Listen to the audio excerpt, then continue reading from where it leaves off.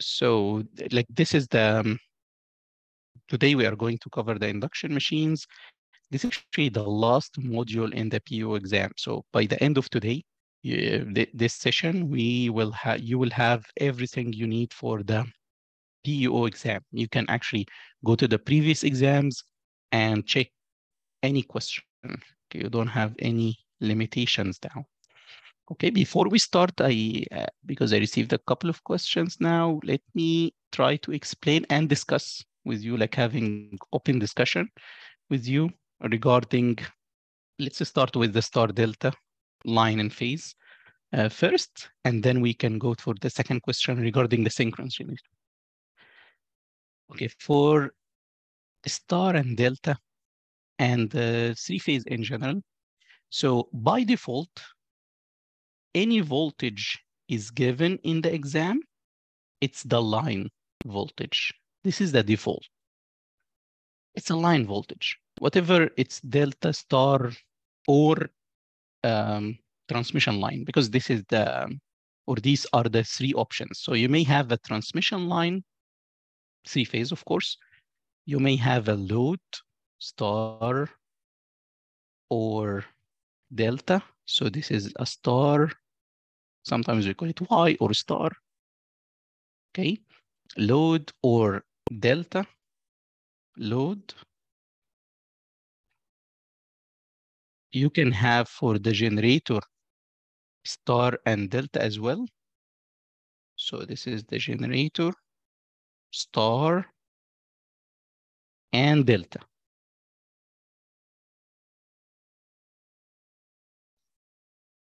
Okay, these are the three options that we can have. We can have a transmission line. This is a transmission line or a circuit. You can have a load, star or Y and delta. You can have generator, star and delta. Okay. As I said, all the voltages in the PO exam is they are a voltage line. This is by default. And this is actually like in, in reality, when we define, for example, the we say 500 kV transmission line, we are talking about the line voltage. Sometimes we call it line to line voltage, which is the line voltage. We are talking about if you have three phases, it's the voltage between the two phases, not one phase and the ground. And the difference, for example, if this, let's say 500 kilovolt so to get the phase, for example, A to the ground, you have to divide this value by square root 3. Okay. This is the phase one. As a magnitude, of course, not angle. Why we care about the phase and why you are not using the line? Because as we said, to solve any three-phase circuit, we move to the single phase or per phase. Similar to what we did for the synchronous generators, we solve the equivalent circuit per phase, single phase. And um, we will do it today, actually, in the induction machines. We are going to solve it. All the induction machines are three phase, uh, at least in our course. And then we are going to move to the single phase or per phase. Yes, we have, I have a question, please. Um, and uh, sorry, Mohammed, I might be getting confused, but um, yes, sure. do you only divide by root three if it's like a, uh, if it's a star, um, like generator? If it's a it's delta it. generator, don't you divide the current by root three? Yeah. It's, so here I divided it into three. The first generator and transmission line. This is transmission line, and this is load. So oh, I what I was talking, yeah, what I was talking about is the one here in the transmission line. And this is the general, like this is, we didn't say delta or star or anything, but we, it, the voltage given was um, uh, the line. And then we needed the phase per phase for this transmission line. Like it's something connecting A, B, C, let's say one to A, B, C, two. It's just three phases connected from one point to another point without like generator or saying eh, what the generator here or loads, but we are like it's a, a feeder. Sometimes we call it in the exam, a feeder connecting two circuits. Because But- I, I know that sorry, this if- is the point of confusion. Yeah. Yes. If- yes, if please. that Yeah, gen- go ahead. If that generator was a delta connection, then we would not be dividing by root three. Exactly. Yes. Okay. So let's, yeah, no problem. Let's go to the generator and then the load. So for the generator, similar to the transmission line for the star, if the given is 500 kV, then you need to solve the and uh, use the phase. You have to divide it by the this value by square root three to get the magnitude for this voltage.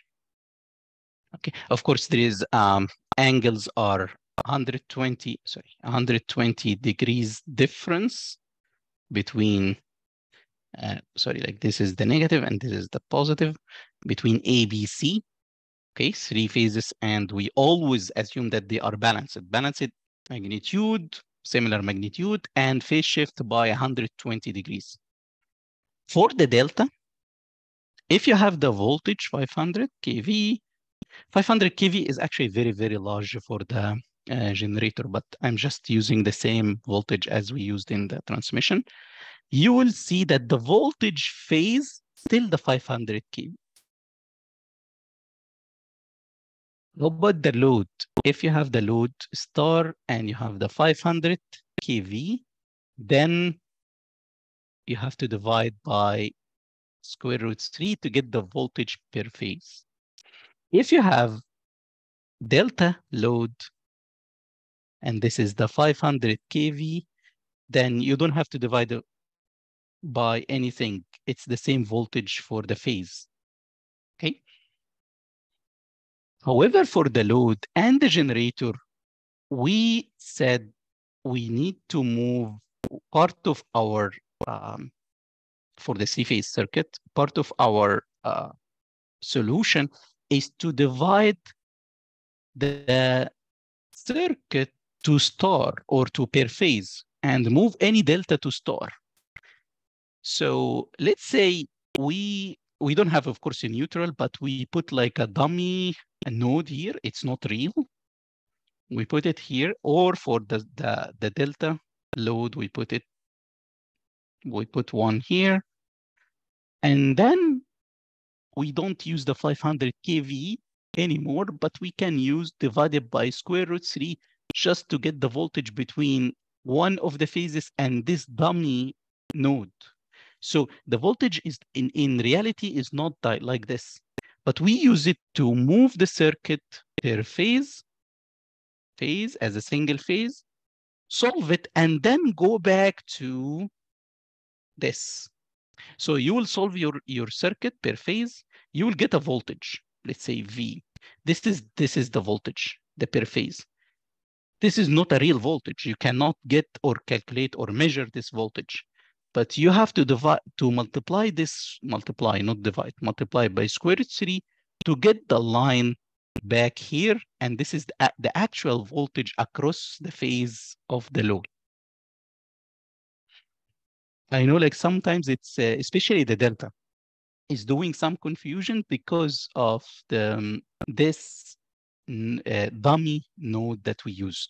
We use the dummy node only to make this per phase because per phase here, you don't have per phase for the delta. You have to first move it to star or Y and then go to the per phase. Okay, similar to the generator. You will get for the generator, you will get a voltage, and I believe we have uh, one in the, um, uh, like the um, assignment one. So we got this voltage, and then we multiply by square roots, sorry, in the midterm, and we multiply by square root 3 to get the voltage of the uh, generator, right? The generator. Because this voltage is not a real, it's just a dummy voltage. It's a, the per phase, yes, we divided this by square root 3 to get this, or if you get this, you multiply by square root 3 to get the voltage here. But this is not a real uh, voltage. It's just the one that you use to solve the three phase. Okay. But for the, the good one, like here, it's the for the transmission line, the given is, or feeder, the given voltage is a line, and you have to divide it by square root 3, make a dummy, again, like a node here to get it per phase. Sometimes we call this one as a ground, for example. So this is the phase voltage or phase uh, to ground, for example, voltage. The line voltage, we call it line to line or sometimes line voltage. Okay.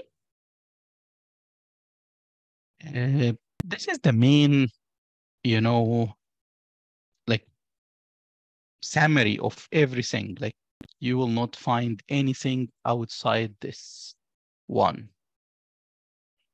or outside our, you know, uh, I can I can try to uh, do something for the synchronous because we solved it some of the synchronous machines last time. So for the synchronous machine, when once we we see it's a star, we solve it per phase again. So we divide the voltage per phase because this voltage will will be, for example, this voltage will be the per phase voltage. Okay, so we divide this whatever voltage given by square root 3 to get this voltage, right? Because look at this one. This is the voltage we have, and this is the given. So you divide by square root 3. However, if the, the, the synchronous machine is delta, like this, once you have the voltage, you will use it directly. It will be this voltage immediately.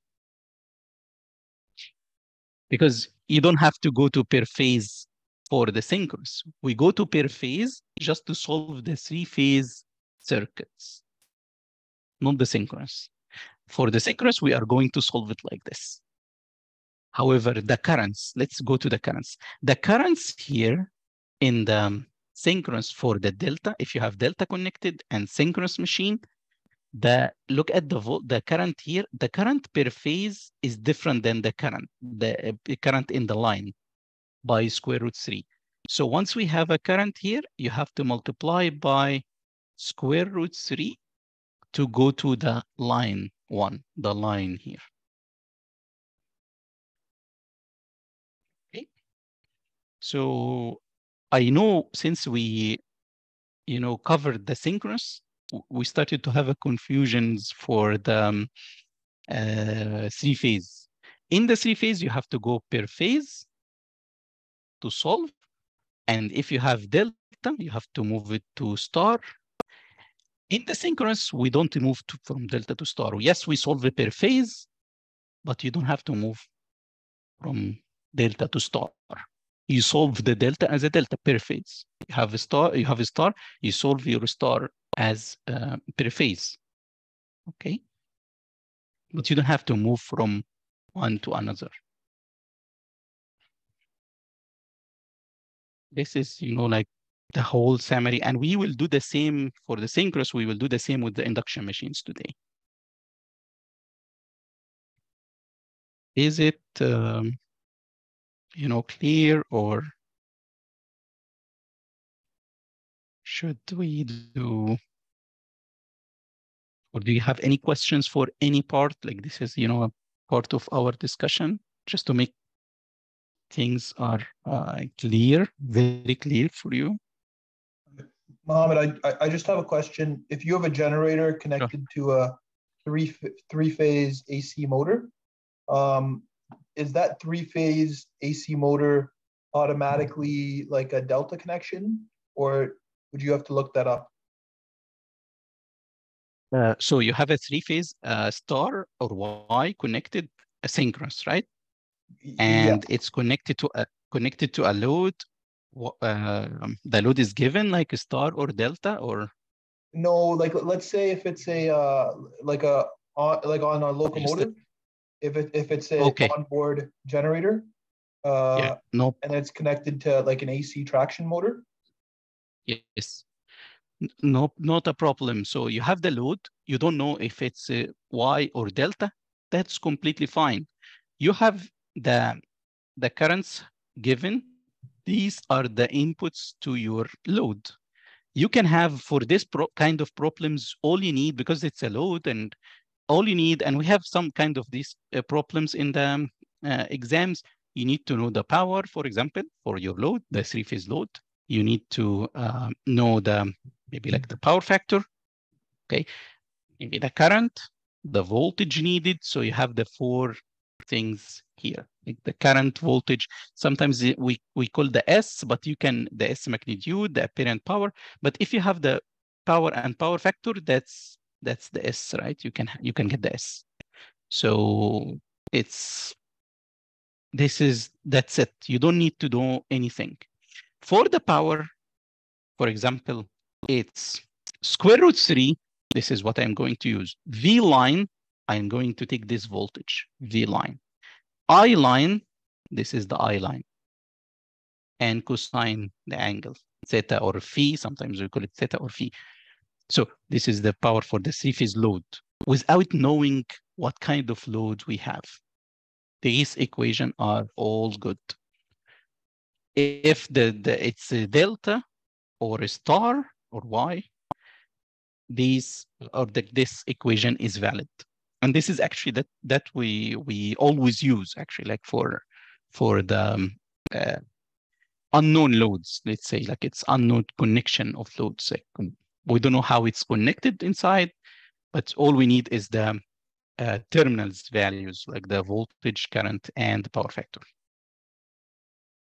Okay. Thank you. Is this, yeah, clear or? Okay. Good.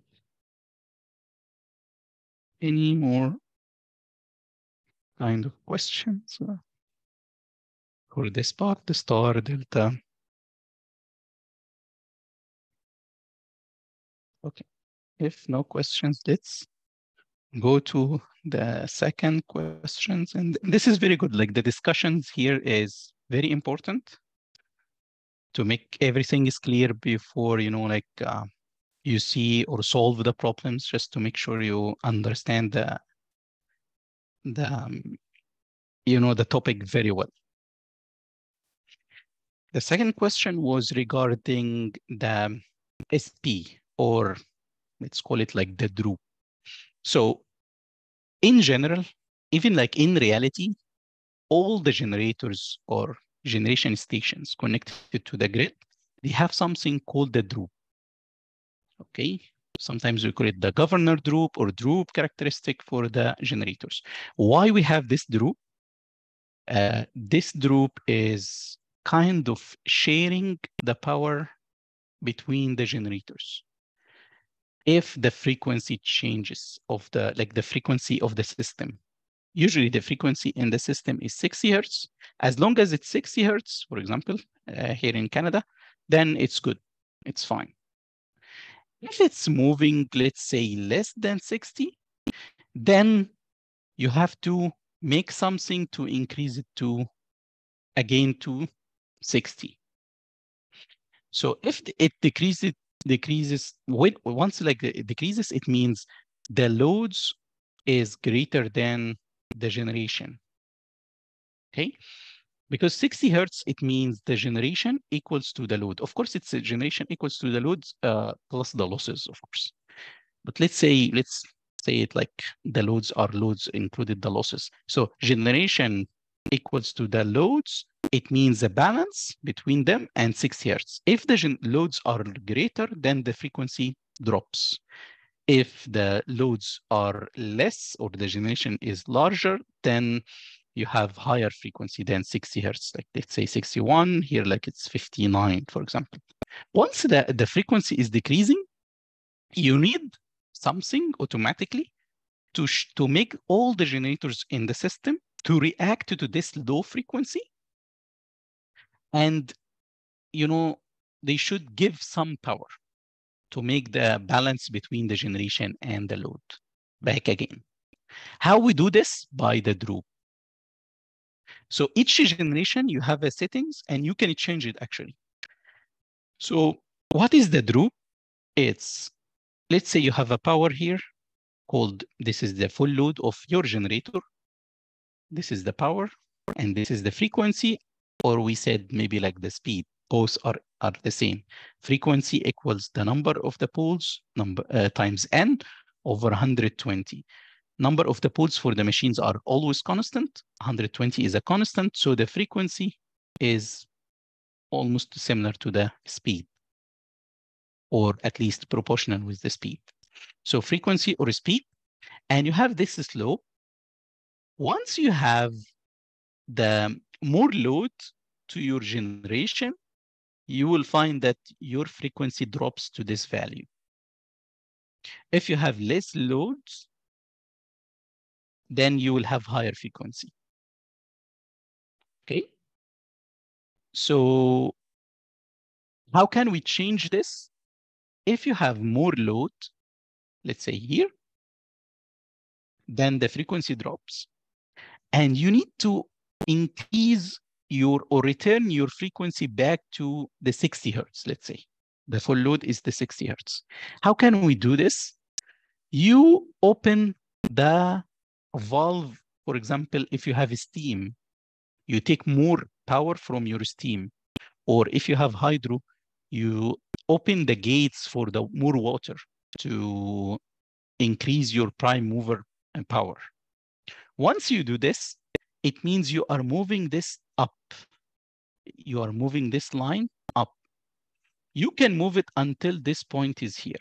Let's say you uh, have this this is by opening the valve.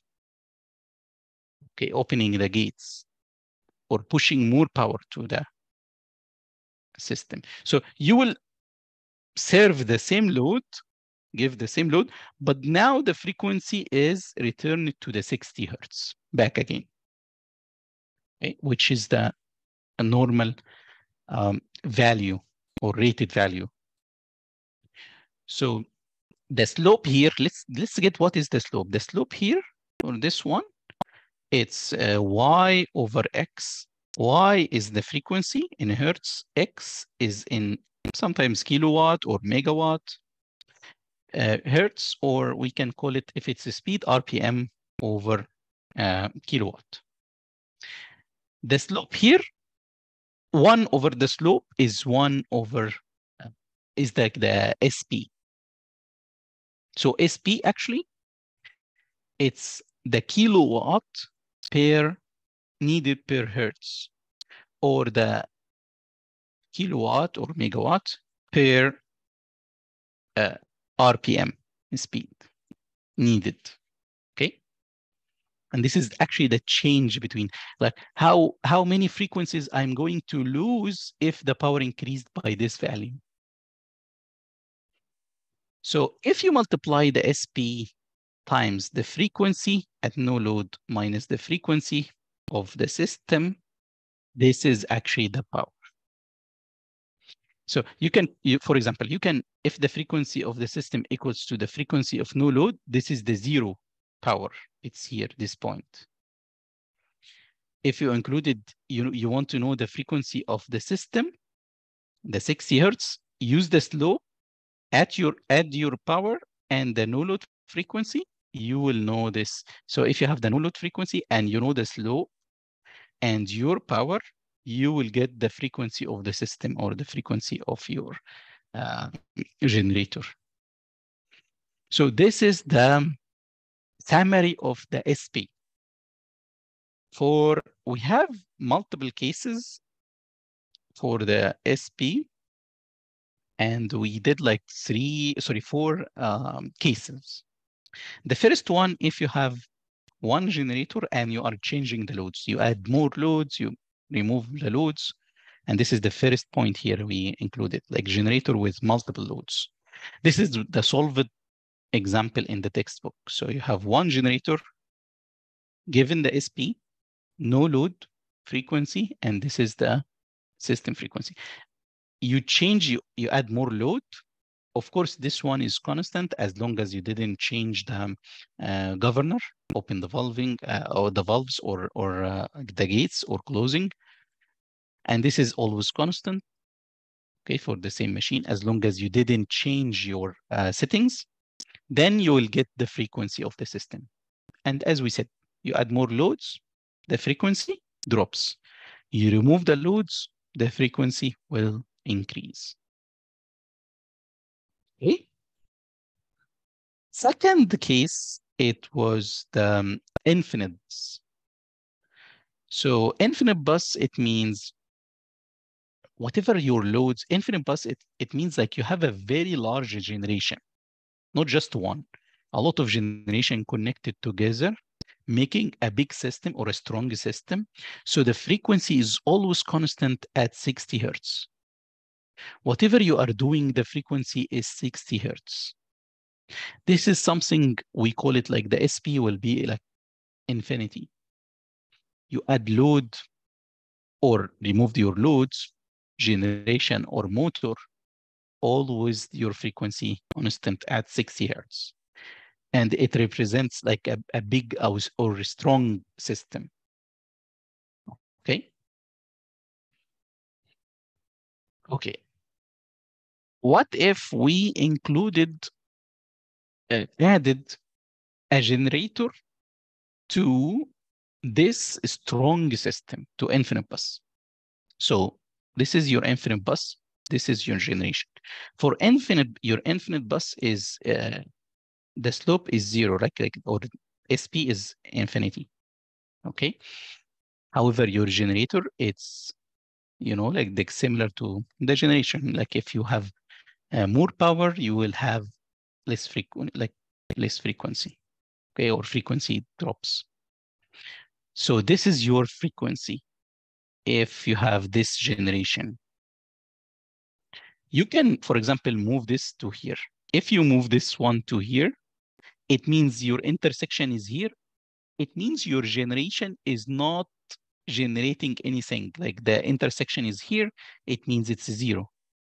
You can move it even lower by closing the valve. Your generator will be motor, absorbing power from the infinite bus. Because the infinite bus is making the frequency always constant at 60 hertz. So you put your, if your no load frequency is higher than 60, then you will generate.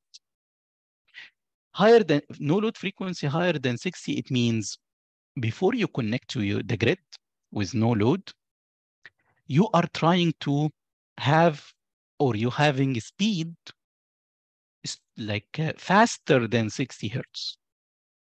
So once you connect, you will be at the 60 hertz, exactly 60 hertz, because you are connected to a very strong system.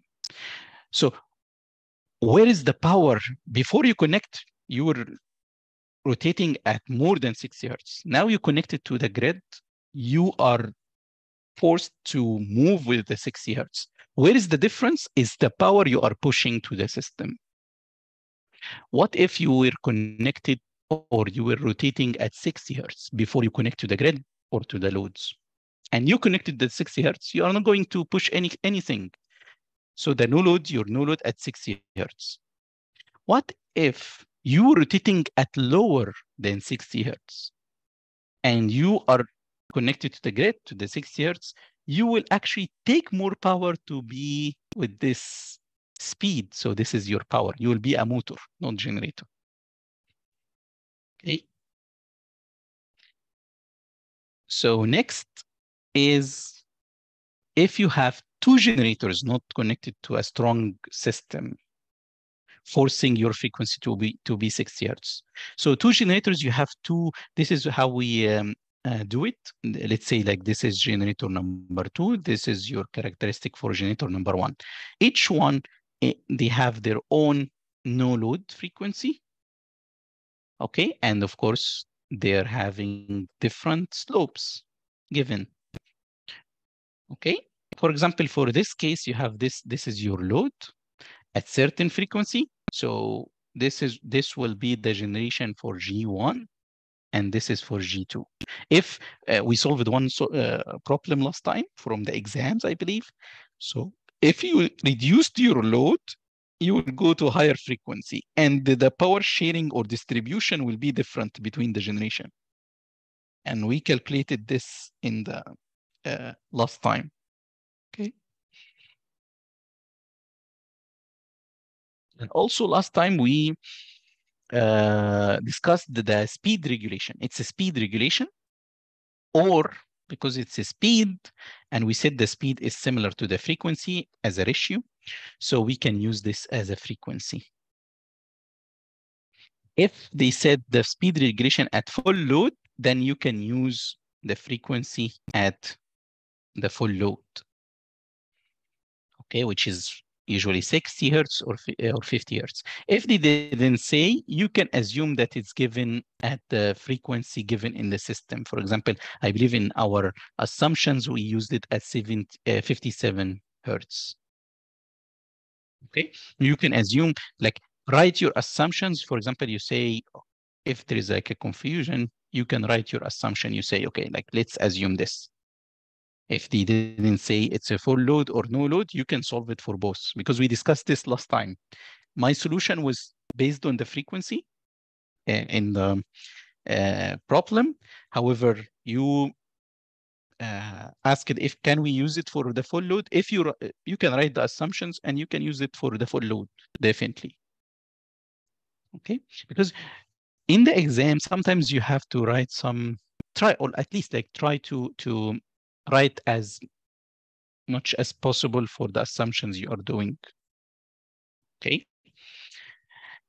There are things that you cannot assume in the exam. For example, as we discussed, the line voltage is given. You cannot use this voltage as a phase, for example. You cannot, okay, I'm going to assume that this voltage is a phase because by default, the given is the line voltage or line to line okay?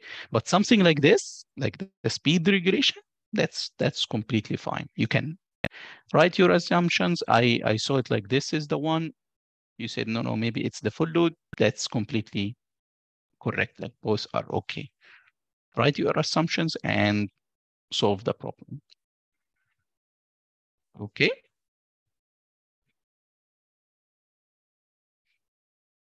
Is this um, clear or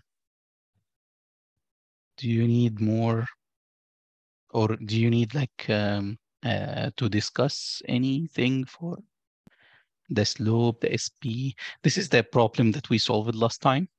Okay, and this is the 57. Oh yeah, I was talking about this one. So it's uh, we use the 57 instead of 60 but yeah, it's I assume that this S is not for the full load. If you want to assume this is for full load, put the 60. That's fine. That's completely fine.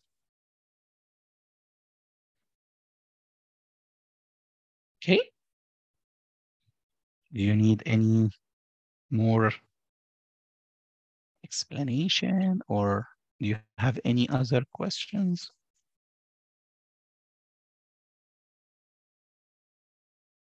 Okay, no questions. Let's, um, this is good. Like it's very good that we do the discussion to make sure that you have like, you completely understand the topic.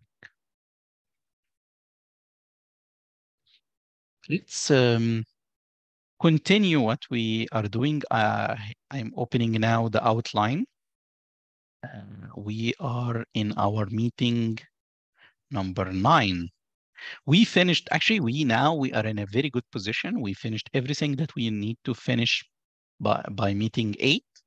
Today, we are going to discuss the induction machines. Hopefully, we are going to finish it. Uh, we have a couple more uh, meetings before the exam. The two more meetings are first, we are going to do the transmission lines. This is optional. It's not in the PO exam. I'm going to cover it very fast. And then I'm going to use the session for the rest of the session, uh, maybe like more than a couple of hours to solve the problems from the past exams.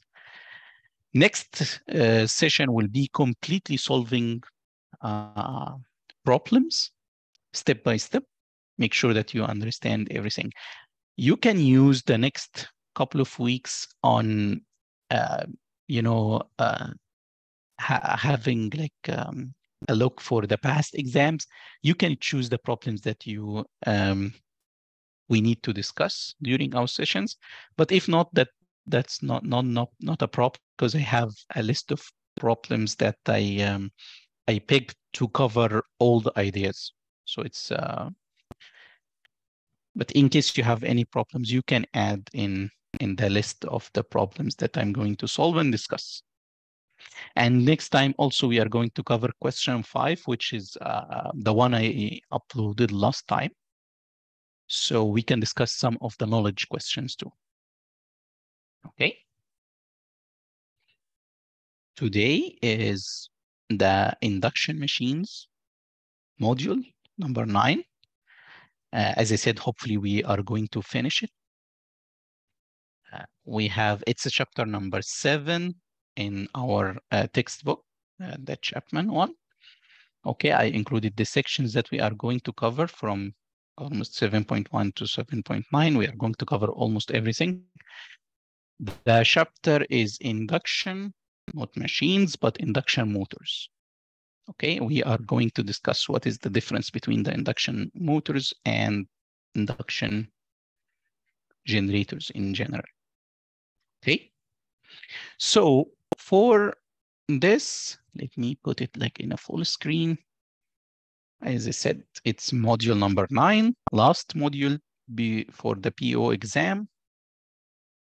Uh, next one is optional, the transmission line, and then um, we are going to have a review of previous exams questions. So what are we going to cover today is the list here or the like the outcomes here. The first one is the main parts for the induction machines. Okay, the, the main parts like the um, stator generator. We will see a different um, construction for the rotor, for example, for the induction uh, machines or motors.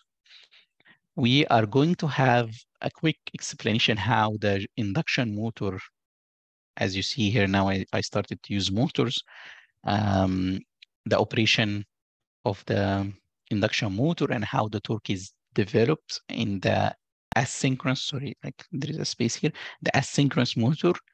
One, one um, uh, name for the induction motor is the asynchronous motor. It's not like synchronized. It's not like uh, the synchronous machine. The next step is to use the equivalent circuit, okay, and actually calculate the, the parameters of the equivalent circuit, similar to what we did with uh, other machines. Then we will have the power flow, losses, the efficiency, and this one is very important. We will see like different powers um, at different uh, steps for the induction machine. We are going to cover something also important. It was part of the uh, one of like knowledge uh, question in the exam is the speed torque characteristic of the induction machine. Okay,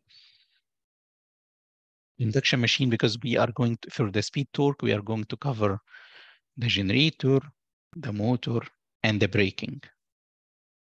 Okay. We have four sections. We are going to start with the equivalent circuit uh, after like a very quick introduction. Uh, then the power flow. Last step is the speed torque characteristic. And we are going to solve some of the important examples. Okay. Before we start the detailed of like the um, uh, topic for uh, today, like the induction machines, as we said, we have DC machines and AC machines, okay? We covered first uh, module for the rotating machines. We covered the DC machines, the direct current machines. And for the AC machines, we have two. Last uh, two modules, we covered the synchronous machines. we finished the synchronous machines.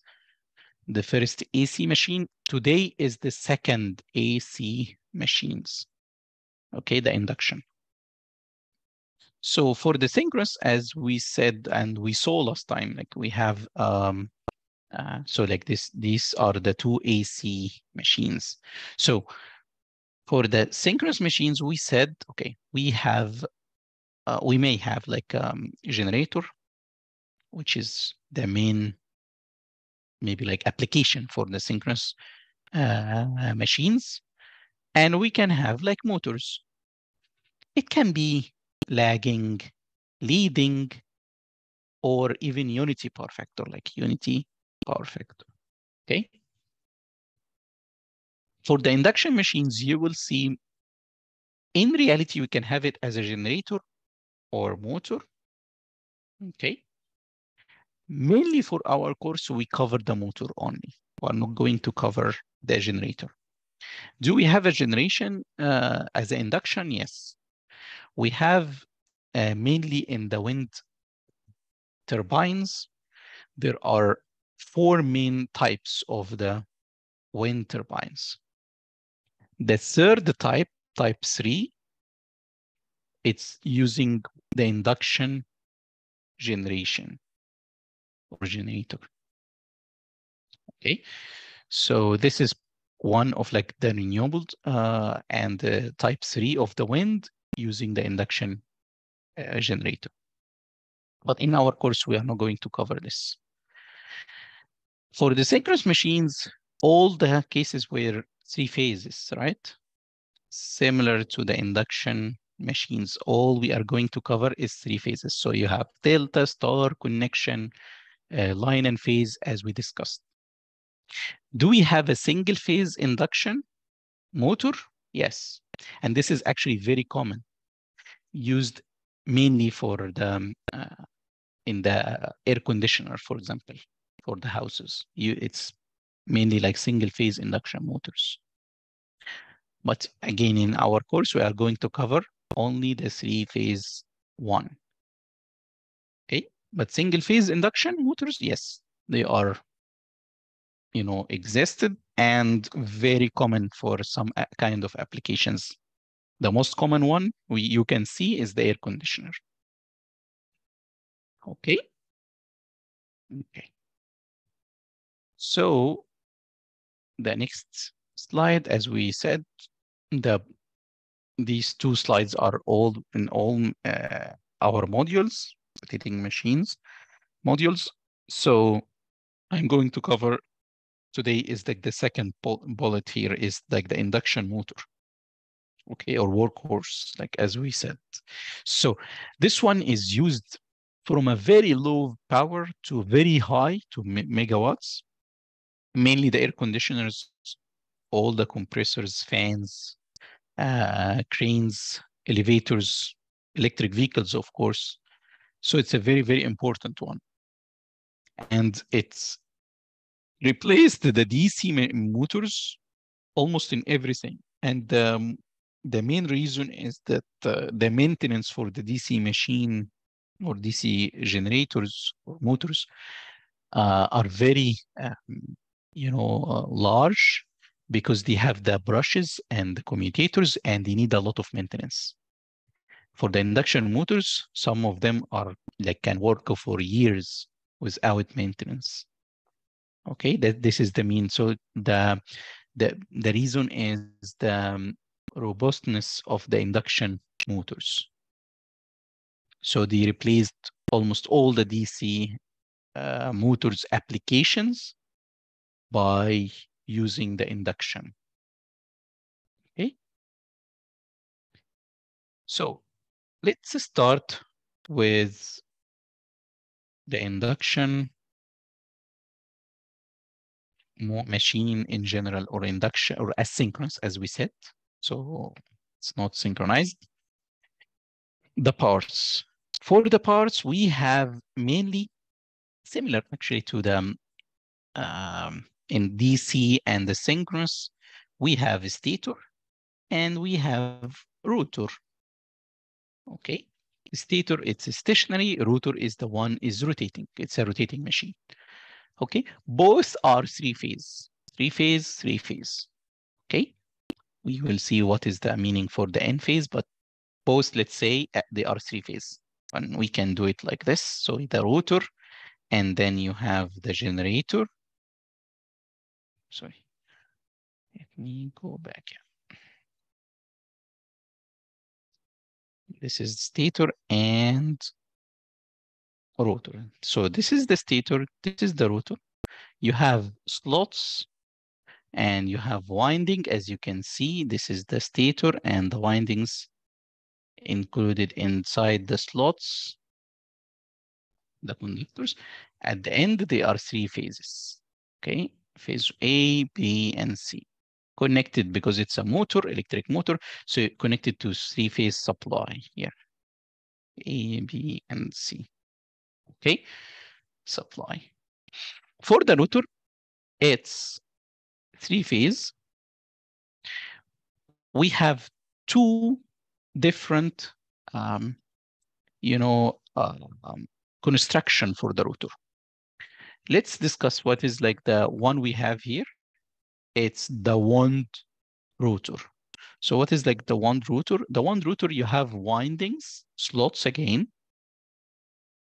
and you have winding for three phase A, B, and C connected together. The three phase in the rotor are short circuited.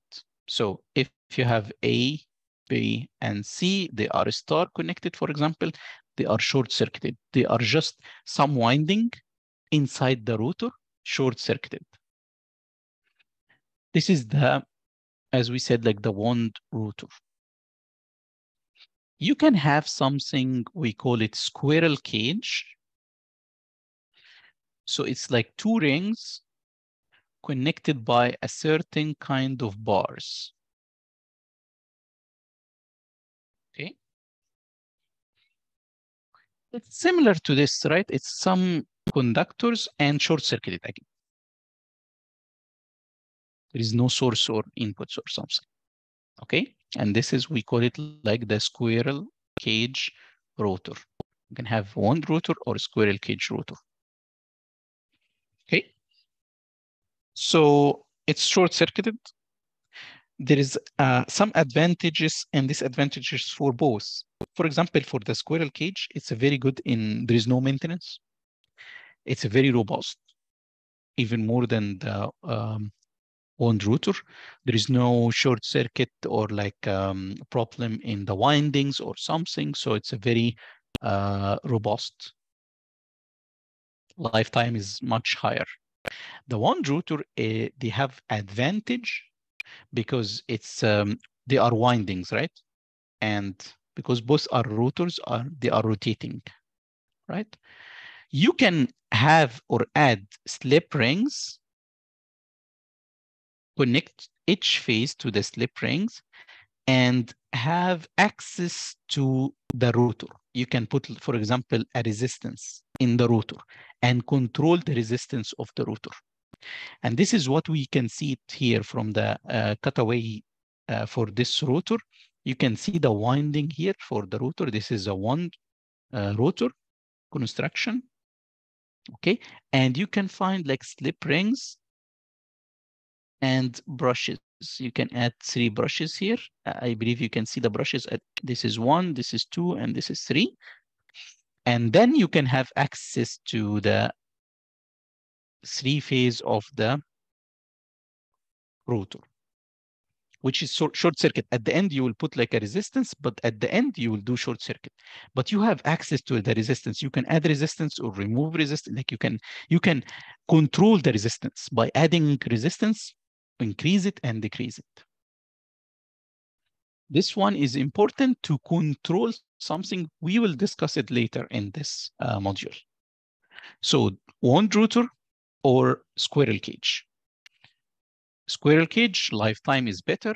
wound rotor, not that great, but you have access to the um, rotor circuit and you can control the resistance for the circuit, the rotor circuit.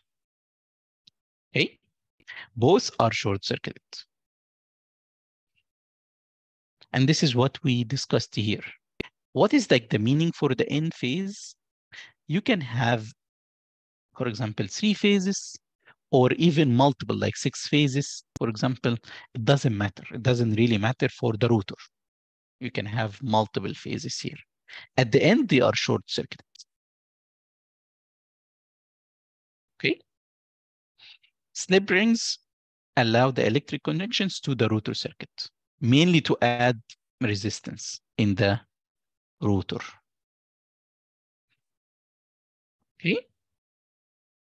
One point here, because we included here, it's that we screwed them in case we have like uh, slots.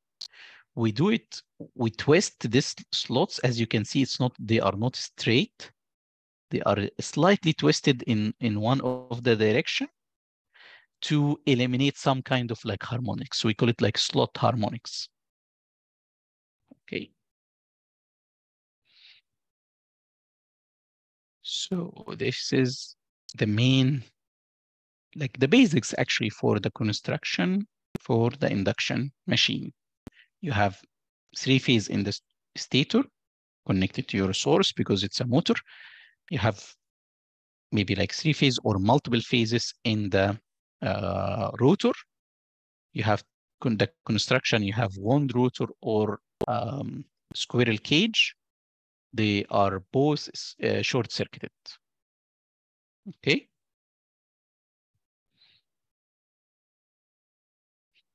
Uh, this is like uh, just to show you that the induction motor is quite old. You can see like a very large one, uh, um, maybe like 2000 horsepower. This is a very, very big one. Okay, connected in one of the factories. And this is like a very, very old one. So induction machines was there for a very long time, getting a lot of um, you know, like um, applications from the DC machines, like compared to the DC uh, machines, especially recently. Okay. So let's start the basics of the induction machines, especially like the operation also. So how it's operate, like the induction machine, like the operation, you have rotor, three phases, uh, short-circuited. You have stator, three phases, connected to a supply. You connect your machine to your, the, your machine to a source. Then the current will flow in the stator, three phase, of course. Three phase with the frequency of the synchronous of your source Sometimes you call it like the F of the synchronous, F of the electric source. And then the current will flow here with this frequency. Because the current flow inside the stator, it will make a magnetic field. Magnetic field, it will make a voltage, induce the voltage in inside your um, short-circuited uh, circuit of the rotor because of this voltage, you will have a current. After having a current, you will have another magnetic field. Two magnetic fields, one from the rotor, sorry, one from the stator this and one from the rotor. They will interact with each other and your rotor is going to rotate. The interaction, because it's it's like a magnet, uh, it's um, three phase, okay? The currents, three phases, A, B, C. The magnetic field is three phase, which is rotating, rotating with a frequency equal to the synchronous. Then, because you have like a rotating magnetic field, after you induce, like after you generate this um, magnetic field for the rotor, it will try to catch the one from the synchronous. Okay. So it's like rotating magnetic field is as you have like a magnet moving okay, or rotating with the synchronous speed. Your rotor has like another magnet. You are trying, for example, you have north and south here, and you have south and north for the uh, rotor. So this trying to catch this, and this trying to catch the other one. Because of this, you will find something called, and we will we are going to discuss uh, later in the next slide, I believe, something called the slip. Slip, it means the speed of your rotor is not going to, to reach to the synchronous speed. It's something lower. Something lower. Yes, I believe we have a question. Please go ahead. Yes, Mohammed, I'm just wondering, uh, there's also poles inside your induction motor as well, right? Uh, for this, it's um, you can you can say the rotor will have uh, a kind of like poles, but it's not it's not given um, for the rotor definitely, but it's uh, it's uh, and we can of course uh, uh, calculate them. Yes, yes, this is of course uh, uh, valid for the induction machines. We have like this kind of poles, but um, the idea is that we don't have a source for the magnetic field. The source of the magnetic field is actually the, the, the main source you connect. So this source, it's the electric source plus the magnetic field. Remember when we have like, uh, when we said for any motor, for example, or generator, uh, motor, you will have the electric, electric motor, electric uh, inputs to the mechanical inputs. However, we need a magnetic field. So both the magnetic field and the electric source is from one source, is the main source. Okay, this this actually is similar to the um, DC, uh, if you remember, or like the shunt DC motor. You have one source doing both, like um, the field and giving power to the armature. Okay. For the generator, you will have the mechanical and again, like a, it will be like electric, but you need magnetic field. Without the magnetic field, you're not going to do, or you are not going to have um, the output, okay, mechanical or electrical for the generator and the gener like the uh, motor. Okay but yes, like for your question, yes, we have like a poles for the induction. It's inside, like you, you can you can um, uh, by like having the north uh, or calculating the number of the north and the south, you can get the values for the uh, or like the number of the poles. Yes, and both like the rotor, they will have something, for example, like opposite, and they will try to catch the other, uh, attract each other, right?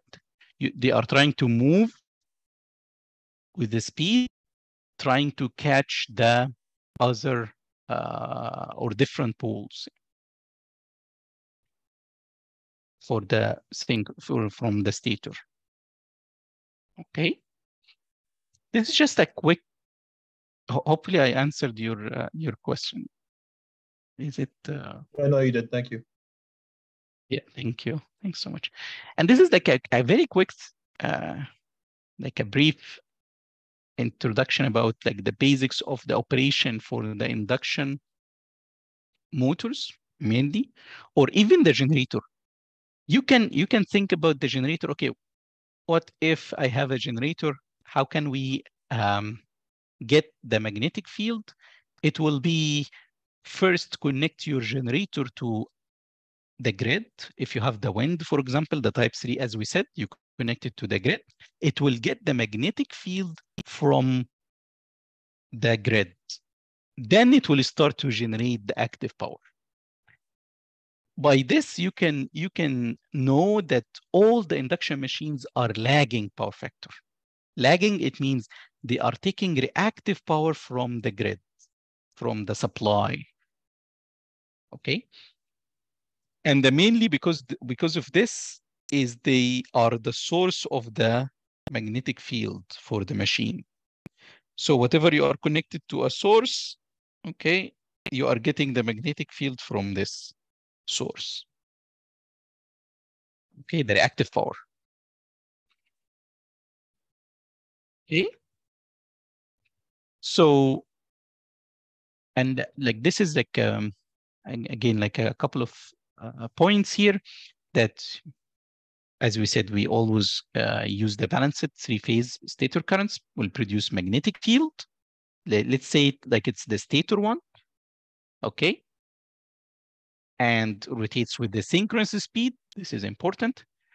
Then let's assume that the, the your rotor is not rotating or stand still or lock the rotor.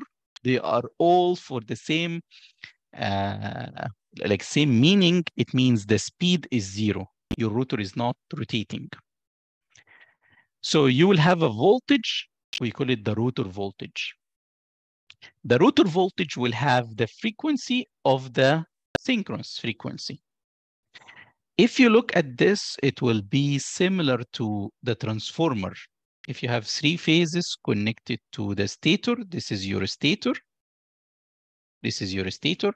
And you have your rotor. Let's assume it's a three phase, short circuited. This is your rotor.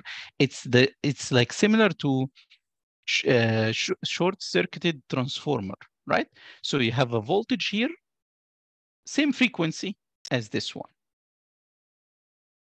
Okay. Once your rotor started to rotate, the frequency of this voltage will be different. If it's not rotating, it will be transformer, right? Transformer. If you remember for the transformer, we use the single frequency. We don't have different frequencies for the primary and secondary. For example, we have, uh, or we had like the same frequency, both in the uh, you know, state, uh, secondary and primary. For this one, it will be a transformer. Sometimes we call actually the induction machines as a rotating transformer. It's including part that is rotating, so the frequency will be different. So what will be the frequency?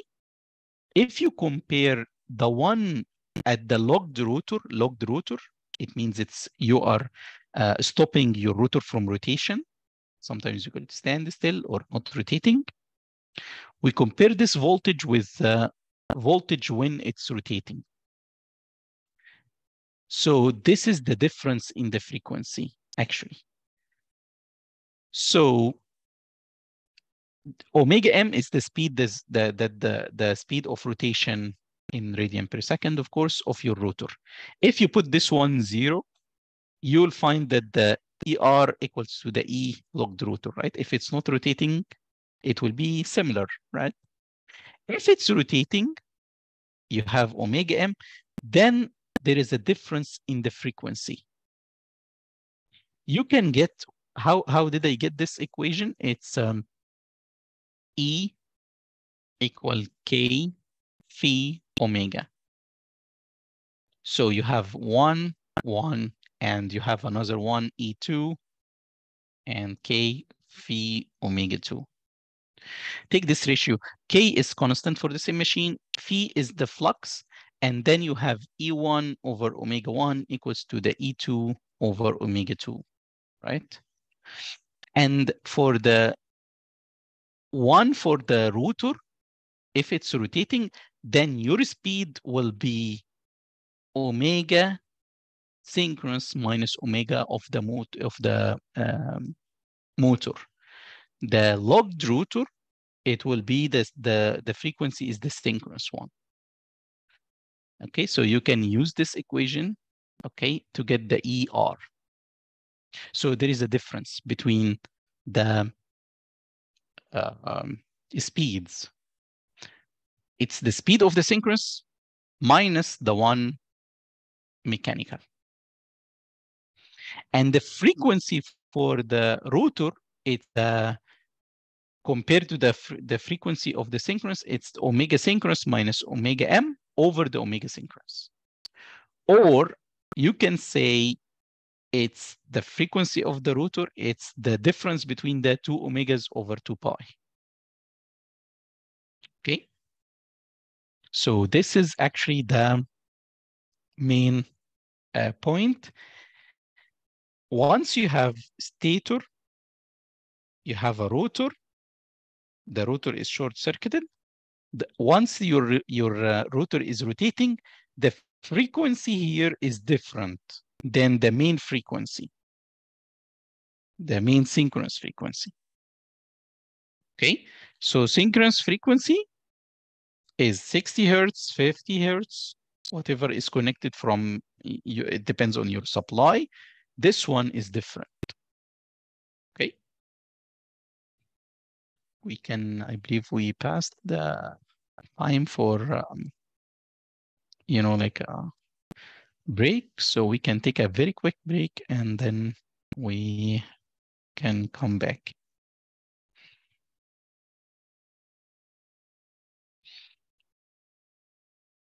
So any question for uh, for this part?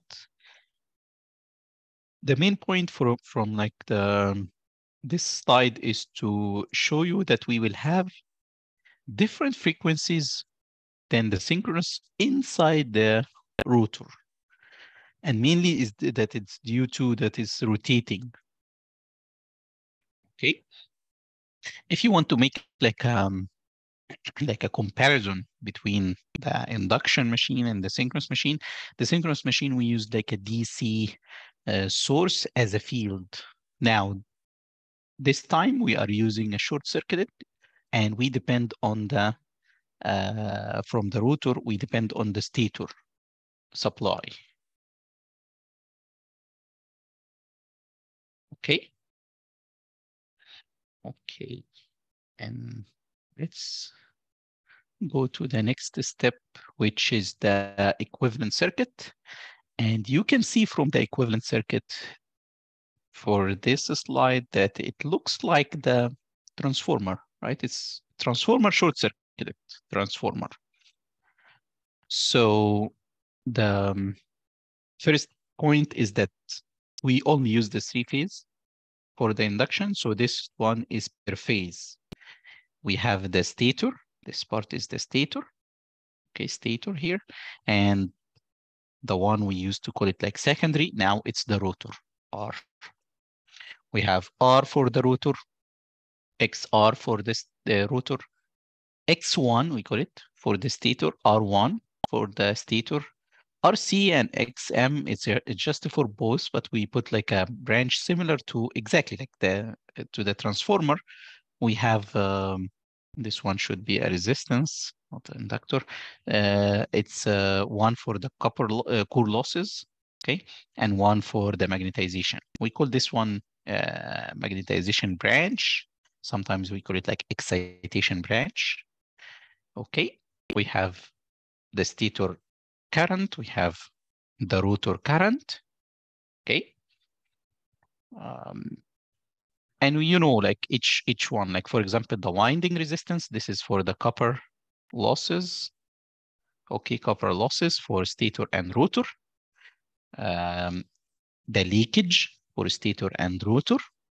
And then core losses magnetization.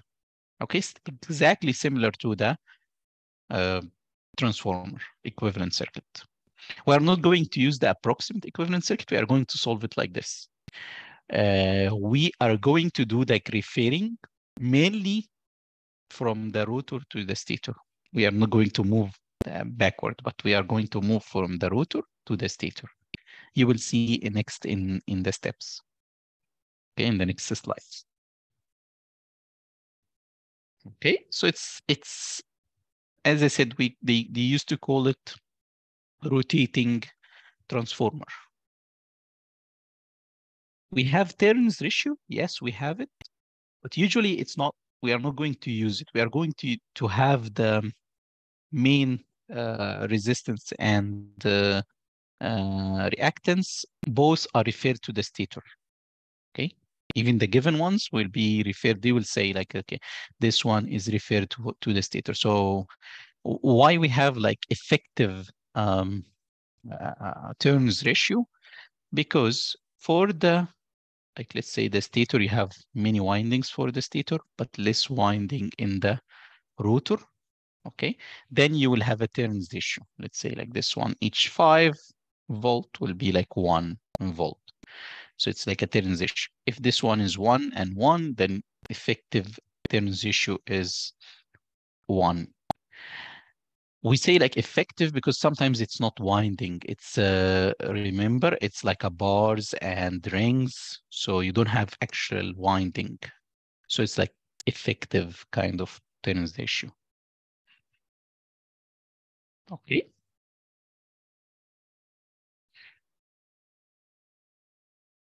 So let's discuss the meaning of slip. So we said we will have rotor and stator. For the rotor, it's going, um, let's talk about the stator first. The stator, you have the magnetic field is rotating by omega synchronous or the frequency of the synchronous. It depends on the supply. The rotor will rotate with the speed, okay, omega m.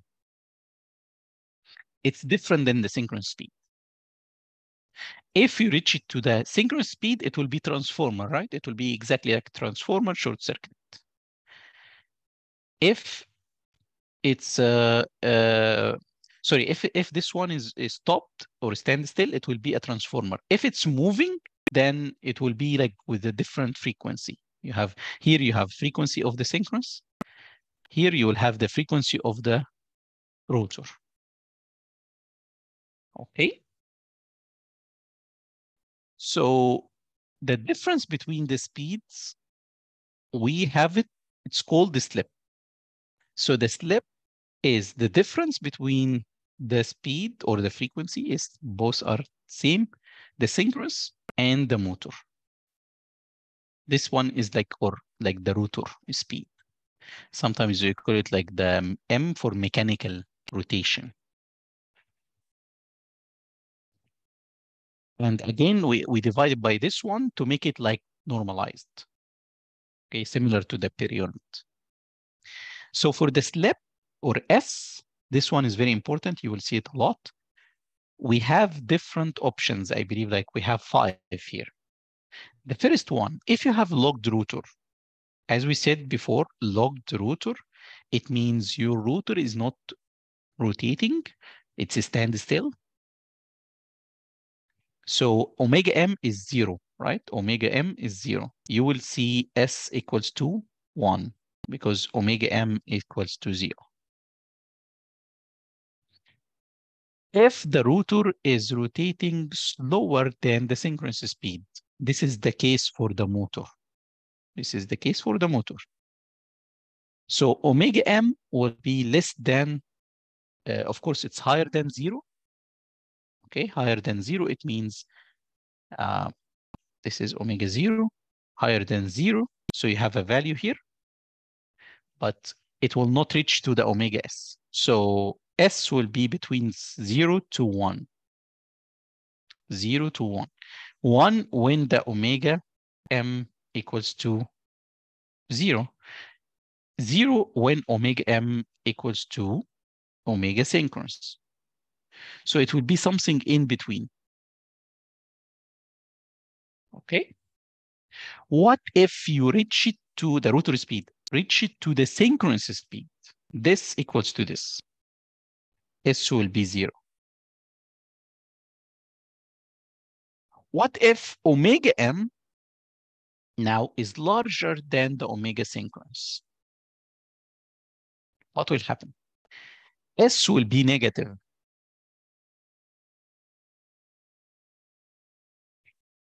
What if your rotor speed is reversed in reverser? It means omega m negative, less than zero or less than zero. If this one is negative, then S will be, so it will be omega synchronous plus something. It will be greater than one.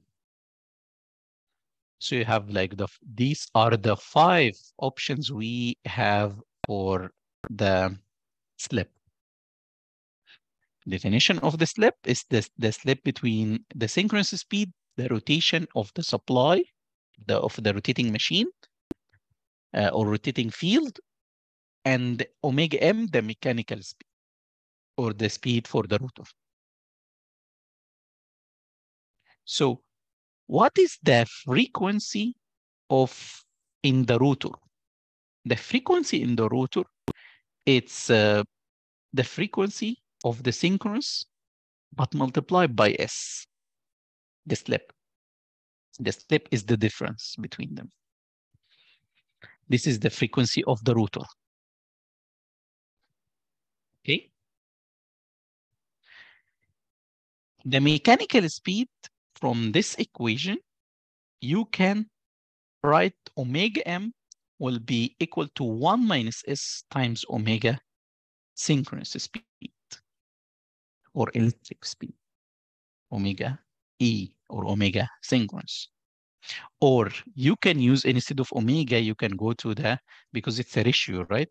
You can use it as RPM. Very important equations you will see that we are going to use in our um, problems. What is the slip? Values of different slip is important. Frequency of the rotor, which is different than the synchronous frequency, it will be equal to the frequency when, when S equals to one, when it's the locked rotor. It will be exactly similar to the transformer. Transformer, you have the primary and secondary, they have the same frequency, six hertz, for example. Okay. And omega m, it's one minus S over omega synchronous. Uh, sorry, times omega synchronous. Okay. This is the slip. So have something in the. So the equivalent circuit, we return back to the equivalent circuit. We are going to use the S, the slip. For this one, this is the equivalent circuit. We are going to drive the equivalent circuit uh, later. But uh, the equivalent circuit, just the main components, we will have resistance. We call it the stator copper loss. Resistance for the stator. Resistance, this is referred to the stator from the rotor. Rotor copper loss referred to the stator. As you can see, we connected to here. We have leakage in the stator, leakage in the rotor referred to the stator. As you can see, we use the A effective here. We call the stators one with the two. The rotor, uh, sorry, the rotor one with the two, the stator with the one. Even I1 is the stator, I2 is the rotor current, referred to the stator, of course. You have leakage, uh, sorry, uh, magnetization reactance and core losses. So what is this value? Like why we have something here? We are going to have proof for this. Let's start the proof and then return back again to this equivalent circuit. But this is what you will see and use actually to solve in the problems. Voltage, because we have three phase, this voltage is the per phase. Okay. Any questions so far for the induction? We are going to cover something now uh, related to the slip. Okay, for the, uh, I can actually do it. I can do it in, uh, I don't know why, what happened to the, have something with, uh, okay.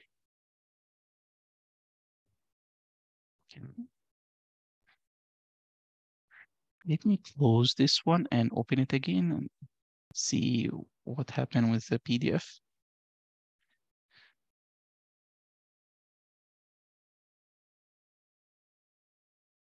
This is the induction.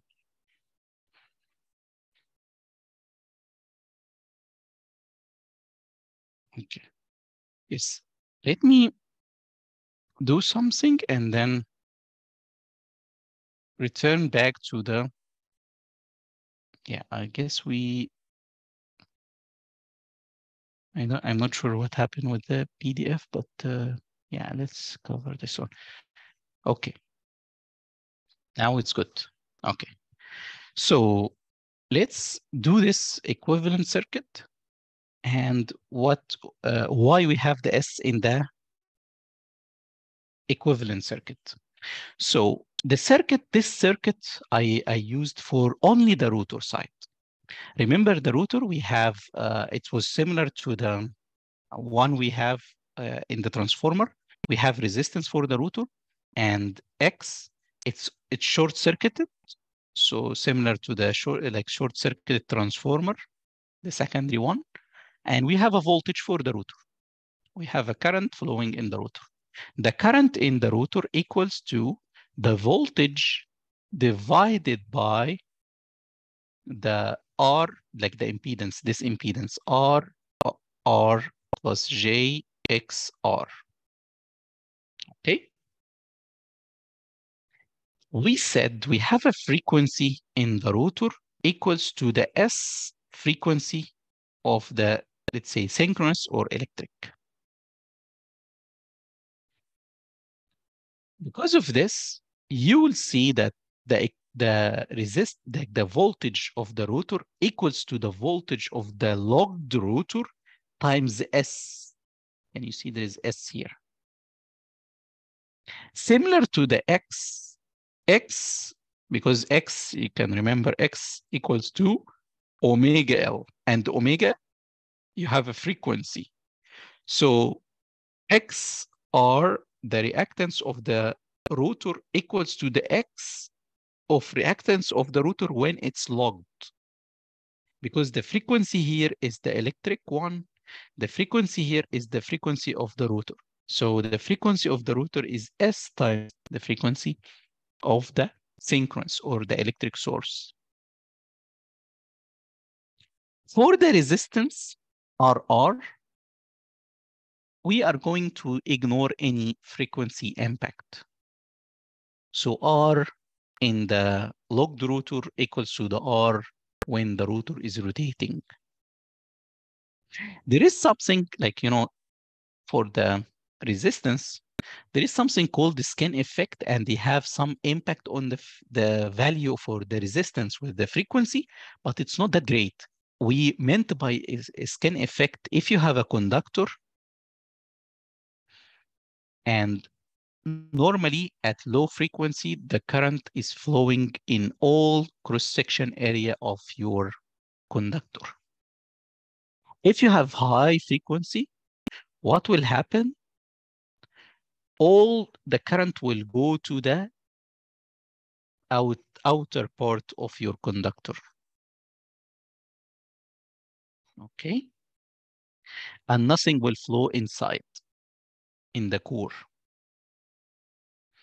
Okay, this one we call it uh, skin effect with a high frequency, and the resistance will is going to change the value because it's rho L over the cross-section area. Now the cross-section area, as you can see here, reduced, so the value of the resistance will be increased. But this happens only when we have very high frequency, like the difference between the frequency are high. The difference between the frequency of the rotor and the um, electric source is not that much. It's not like in hundreds or like uh, uh, thousands of times. So we can ignore the skin effect. So the value of the R log the rotor and, rot and uh, rotating, they are the same. I'm going to divide each of them over S. So the current will be the same. Right? If you divided this by the same values, then it should be the same. You know, ER equals to the E locked rotor times the E. Sorry, times the S. So now the voltage will be locked rotor. Let's R over S, you know, XR over S, it will be XLR. Now the R, there is no S for the R. So R will be R over S. R will be R over S. Okay. And you will have this value for the IR, similar value, right? For the IR. Now, the frequency here, we divided by S. So LR and XLR, because we use the frequency now of the FE.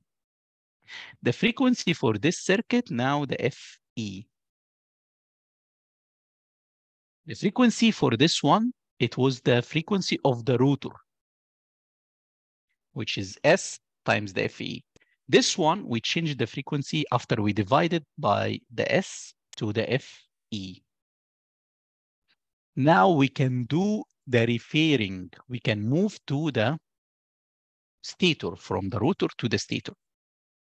Because before, before doing this, using the frequency of FR, we cannot do the referring for the circuits with different frequencies we have to go to the same frequency as the stator, the frequency of the source, and then we can do the referring. Okay. After doing the referring, what kind of frequency uh, or what kind of reactance we are going to use this and resistance this. So this is what you can see here. Okay, I'm not sure what happening is.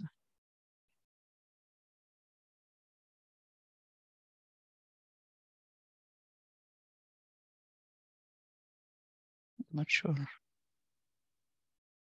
Let me try to, maybe because I opened of uh,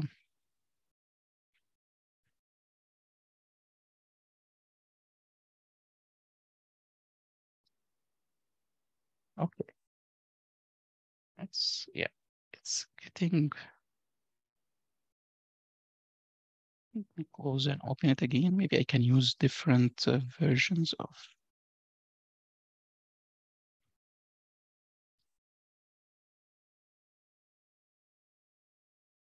I can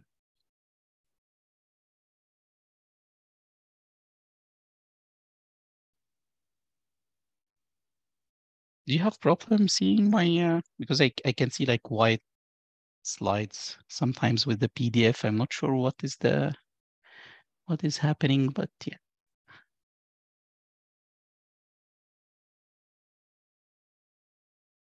Let me do it again. Maybe i can do it in um, smaller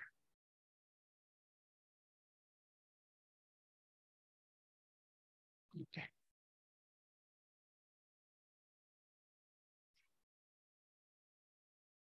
you can see this one is white, right? You cannot see the values here, right? Or uh, No It's values. just- what? Sorry, There is no values. Oh, okay, yeah, yeah. So I'm not sure what's happening with the PDFs here. Okay, it seems I have something with. I can need to reinstall the Adobe or something. I can use different um,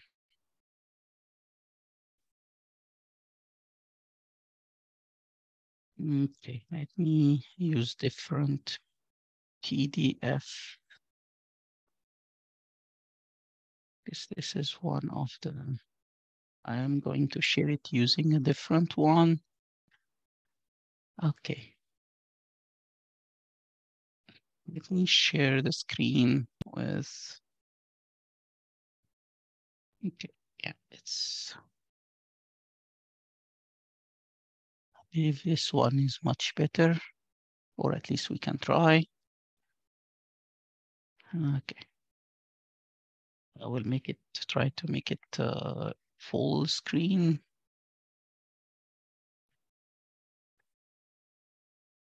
View.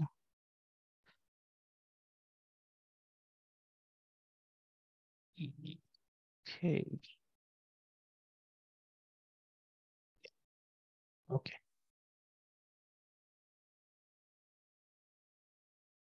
Can you see my screen now? Is it better? Cannot see the total image, just part of the, oh, Okay, yeah. Maybe I can, I should do it like this and then we try to make it, um, yes, I believe you now see it fully, right?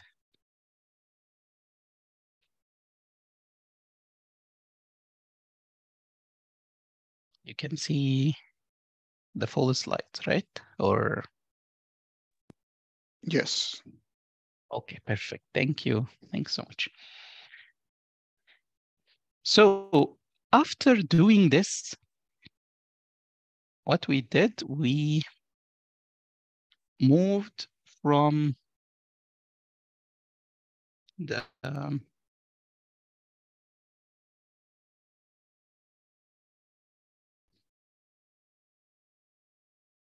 for some reason, okay. I can make it. Uh,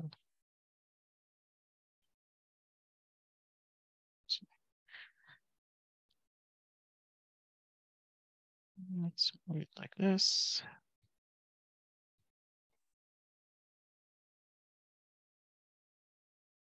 Okay.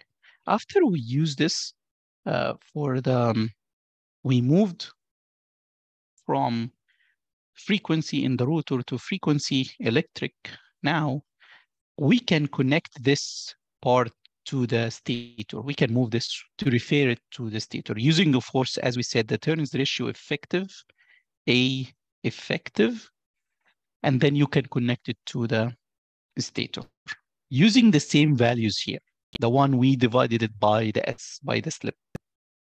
Okay.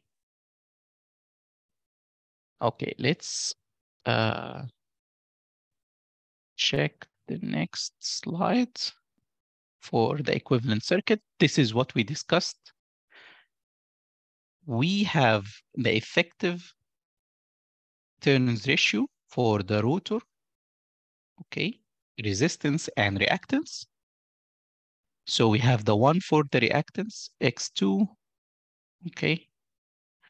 And we have R2 divided by S. I need to divide R2 divided by S to R2 plus something.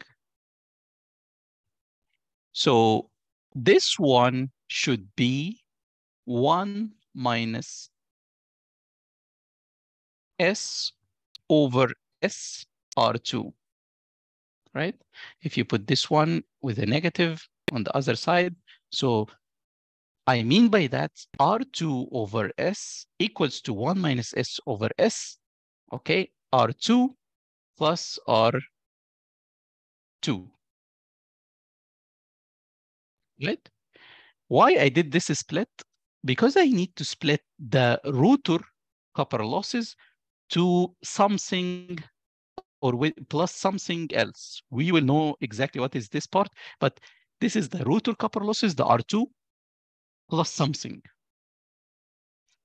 So we split the R2 over S to this value plus the R2 1 minus S over S. From the power flow, we will discuss in the next section.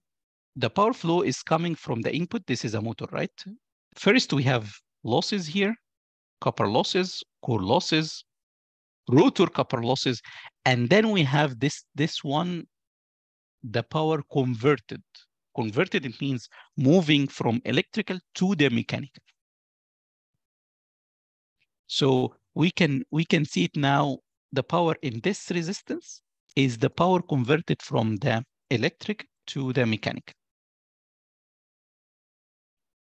Okay, and we call it here the power converted.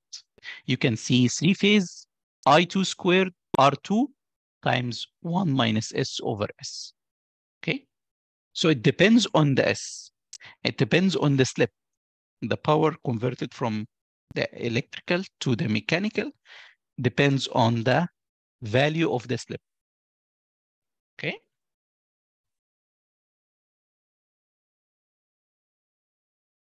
So let's go to the next one for the power flow that we are going to discuss. We have the input power as a three phase.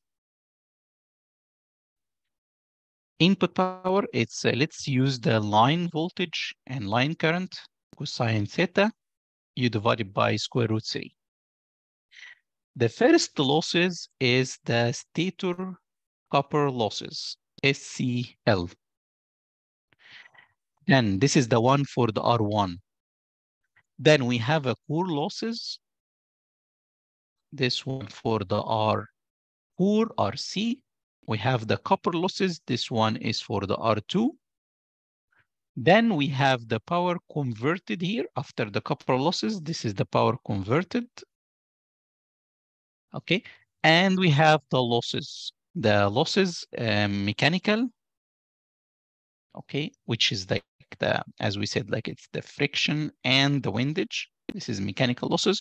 And final part is the stray losses or the miscellaneous, we call, we call it like the E for the stray. You have at the end the output power, mechanical, of course. This one is mechanical, this one is electrical for the motor. Okay. So we have one important power. We call it like the air gap. It's jumping from so the the after the core losses, jumping from the we call it air gap in the air gap between electrical to the mechanical to the from let's say from the your source connected to the stator to the rotor. This power is very important. Sometimes in the exam they are asking explicitly to calculate this power, the air gap power, or AG. Okay. This power actually is the power at the R2 over S. Then, because we said R2 if, uh, over S equals to the R2 plus 1 minus S over S of the R2, right? Then this is the air gap power. Then you have the power at the rotor losses. Then you have the power converted, which is this. So you can see the converted power is like this, is the power losses at this resistance. The air gap is the power loss at this resistance, R2 over S. Okay. You can see relationship between the air gap and the power converted, and it's important one.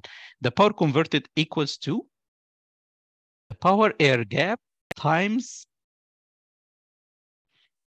because it's the power air gap times this part. This is the power air gap, right? 1 minus S.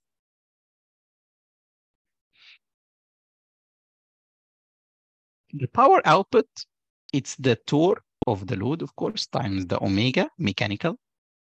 Okay, the rotation, the actual rotation. The torque induced okay, times the omega m, it's the power converted.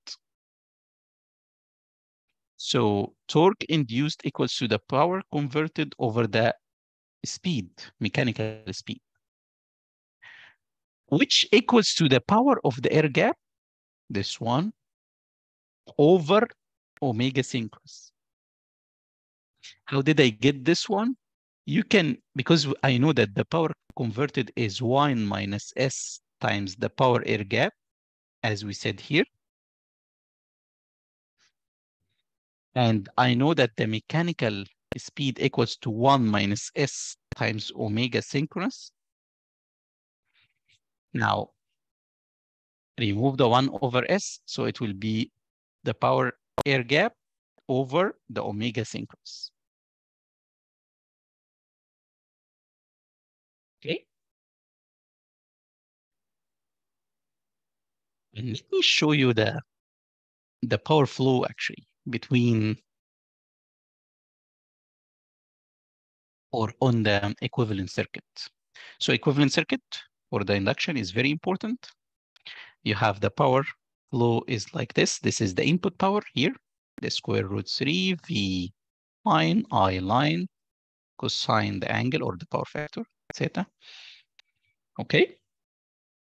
The first power losses is the stator copper losses here.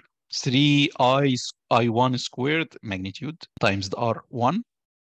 Then the second power is the core losses. Then you have the, this is the air gap. This is the P air gap, which is the one on this on both resistance here, the R2 over S. Then you have the copper losses for the rotor here. Okay, I, I put this is the core, this is the one, this is the stator, this is the rotor, and at the end you have the converted. You can have the output directly if you don't have mechanical losses, P mechanical and P stray. This is P out. This is the, here it's the rotor copper losses. Here we have the core losses, RC. Here we have the stator copper losses.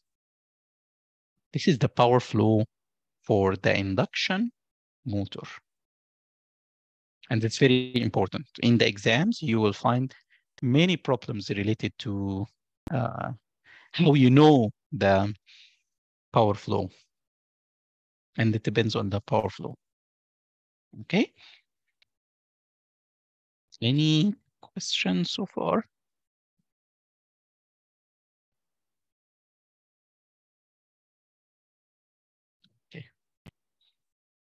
Let's clear this one and go to the next part for the, the power flow. Uh, one, one important point I, I forgot to mention is related to the RC, the core losses resistance. For the induction machine, normally we ignore the RC. The reason is that the losses for the core losses is very, very small compared to the other losses. So even in the equivalent circuit, you will find now most of the problems we are going to ignore RC. We will we'll have one single branch, one single element branch is JXM. Okay, RC is very, very big, large value.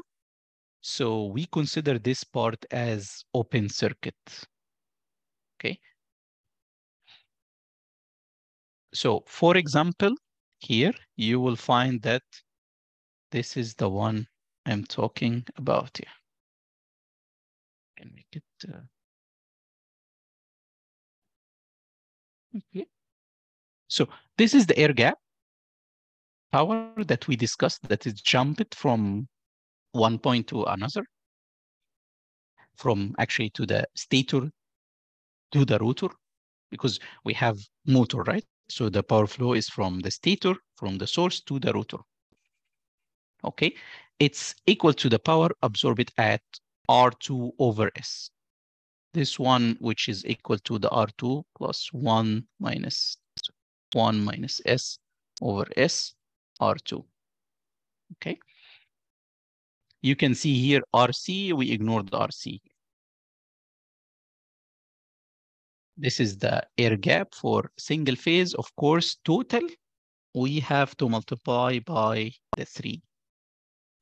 And this is the equivalent circuit that we are going to use with in like all the problems. Okay. And most likely RC is not there. If RC is given, then you put it, okay?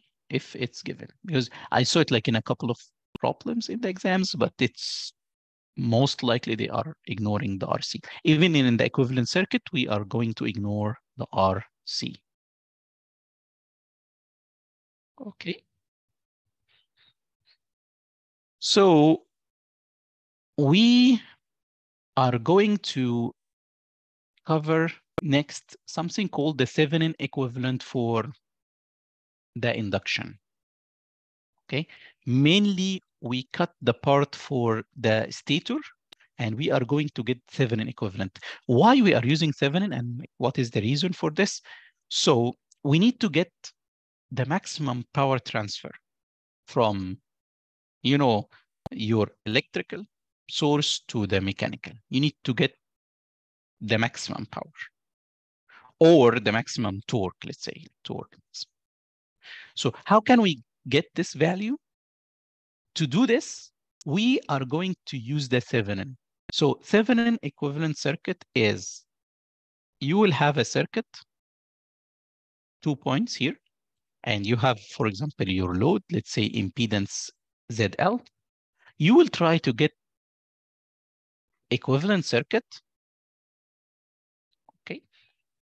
And this is the Z7, okay, and this is V7 or V open circuit. After having this equivalent circuit, it's related to the maximum by, to get the maximum equivalent circuit, you need Z load equals to the Z7 conjugate or Z7 equals to the ZL conjugate. Like it doesn't, like anyone is conjugate. So once the ZL equals to the Z7 equivalent, you will have the maximum power transfer from your source to the Z load. And for this point, you will reach to the value for the maximum. You will know the maximum power. If you change the impedance, then this value, your load, then this value, then you will have different um, or less maximum power, at least, like something less than the maximum power. Okay. So to do this, our load will be the this uh, the the stator like uh, sorry the rotor this is the rotor and this one is the stator you can see from the circuit that I got like the R1 JX1 uh, JXM ignore RC and then we let's get the V7 in the V open circuit here we need to get this part as source and impedance. The source is the V7, the impedance is the Z7. To get the v uh, V7, we do like open circuit. We open circuit the, or remove the rotor and get the voltage here. This is V open circuit, V7. Okay. Then to get the Z7, we make any voltage source as a short circuit. For example, this, I will make it as a short circuit and get the impedance here. Because it's, it will be this impedance, this reactance, for example, in parallel with this branch. After having this, you will have the load, and then to make the load maximum, make it to the impedance uh, Thevenin conjugate. If you remember, like, I'm not sure if you remember the conjugate, the conjugate, if you have, let's say in polar form, three angle 30 degrees, conjugate, it means you change the angle, uh, the sign of your angle. It will be minus 30 degrees. If you have conjugate with uh, rectangular 3 plus J4, it will be conjugate. It means 3 minus J4. Okay, this is the conjugate. We used it with the, in the power, if you remember the, the power uh, S to, to change the sign for the reactive power. So this is the conjugate.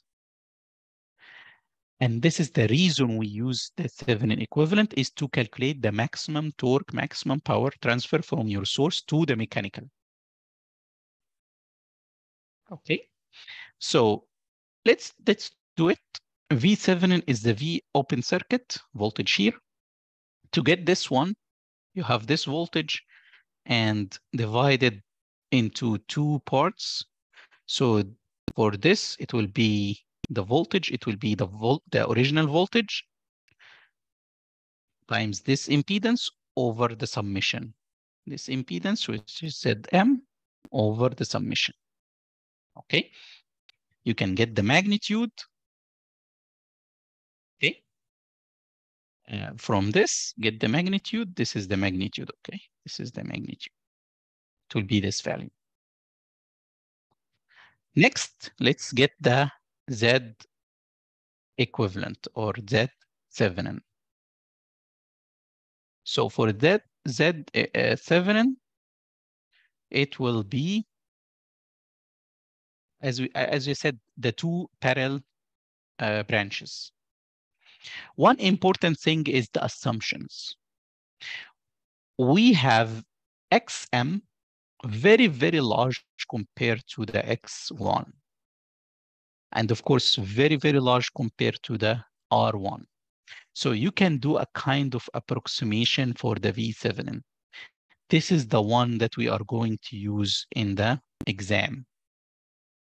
Once you need to get maximum torque, for example, you will see one equation. The equation includes the V7. This is the one that you are going to use to calculate the V7.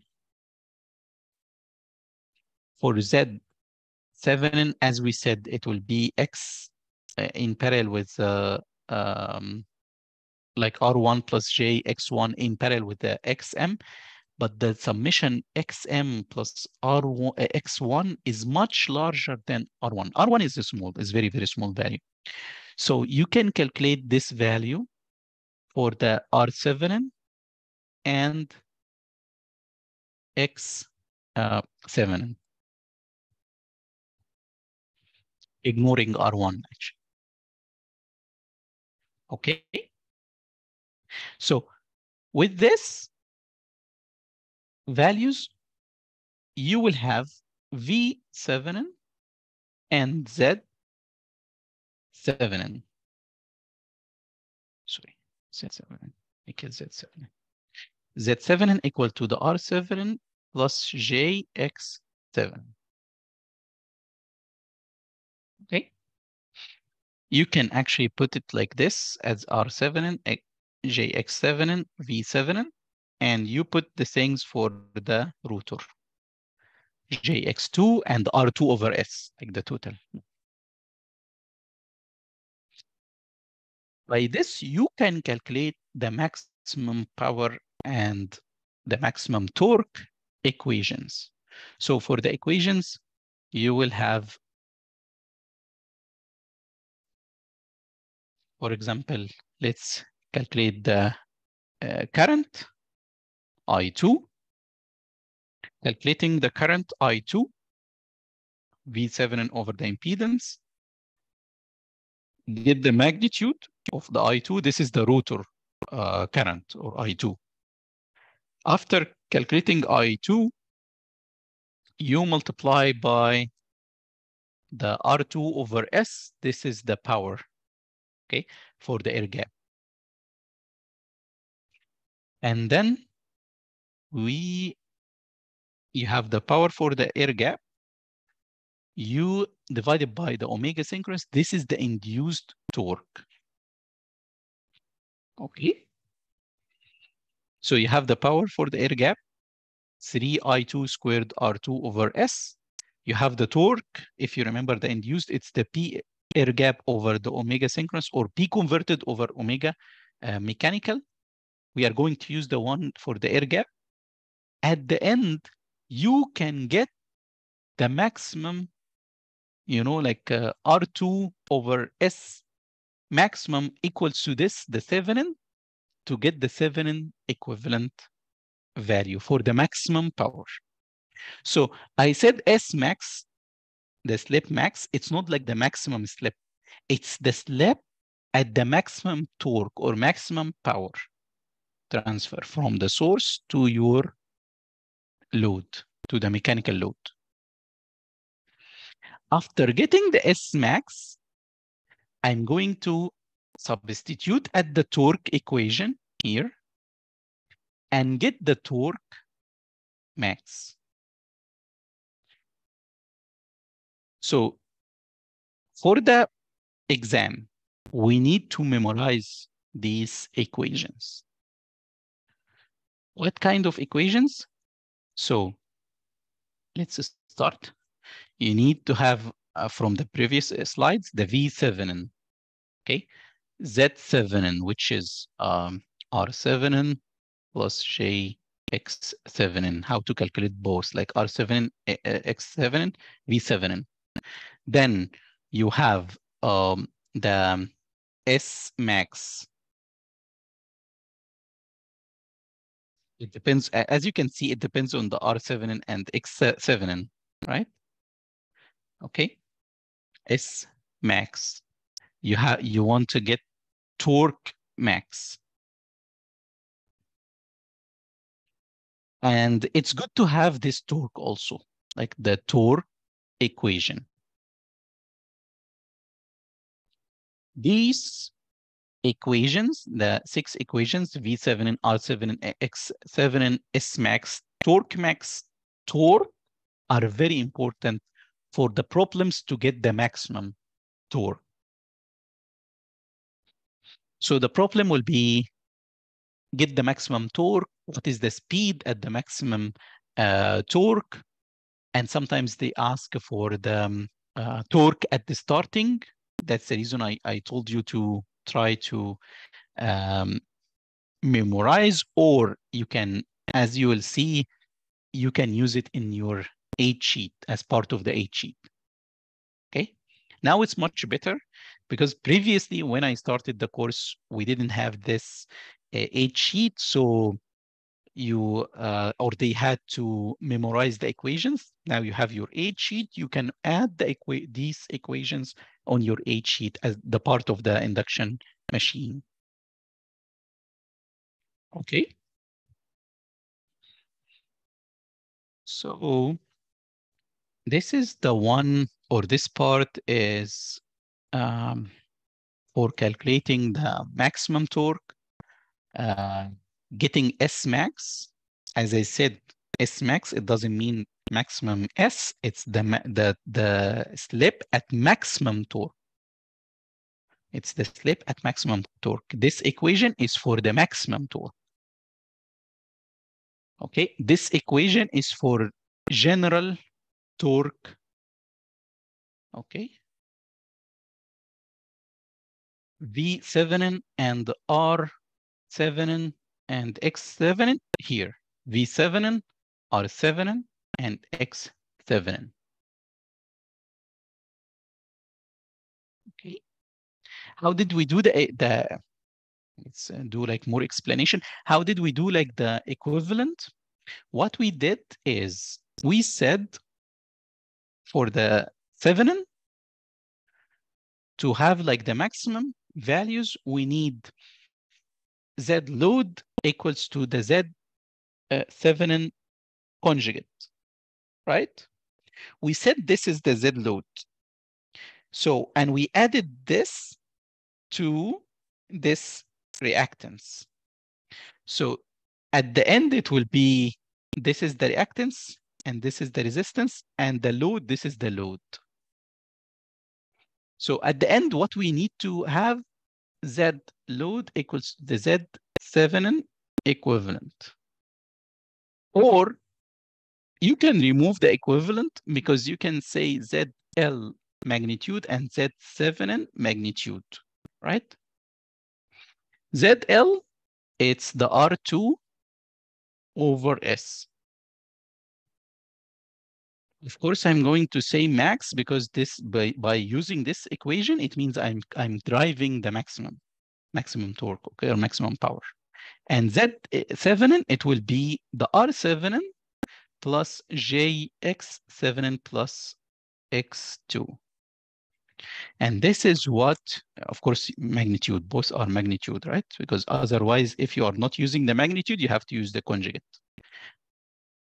if you look at this, what I, I just said, you can apply and include it here.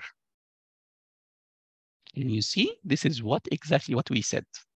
using the Thevenin to get the maximum power at R2 over S. Okay. It's good to know. They are not going to ask you for the equa like for sorry for the proof in the exam, but they are they um, many problems ask it for the maximum torque, which speed the maximum torque happened. So you are going to use the S, um, R, R7 and uh, X7 and V7. And, okay, this is the kind of, of problems that we have.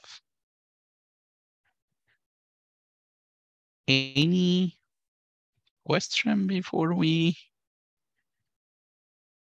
continue to the torque speed characteristic. We have the torque speed characteristic and then examples, and that's it for the induction. Okay, maybe we can have um quick five minutes break and then we can come back if you don't have any question.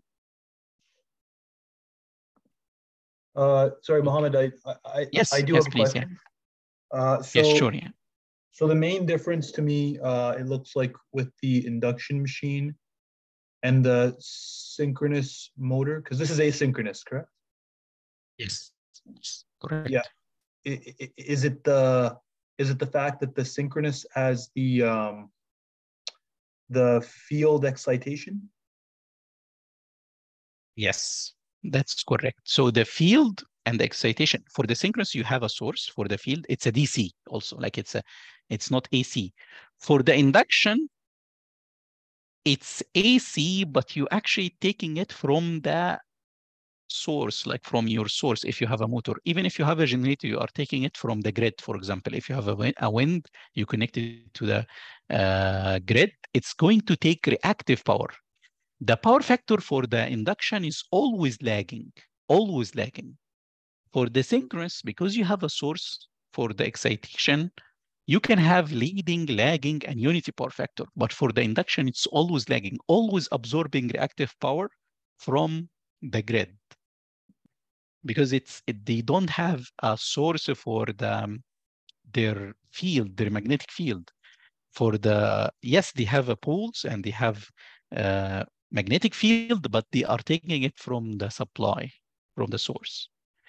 Uh, another thing is that the speed in the synchronous speed, as we said, it's always synchronous speed for uh, even for the motors. Okay. Uh, for this one, no, the speed, as you said, like uh, or I- as you saw in the um, in the motor, it's slightly less by the slip than the synchronous uh, speed. Synchronous speed is the it depends on the frequency of the supply. The mechanical speeds it depends on the slip, right? It's the slip from the uh, synchronous speed. If the synchronous speed, like if eh, your motor is reached to the synchronous, then you will not have any um, voltage on the rotor and no voltage, no current, no field. So it's going to slow down again less than the synchronous speed if it's a motor. Okay.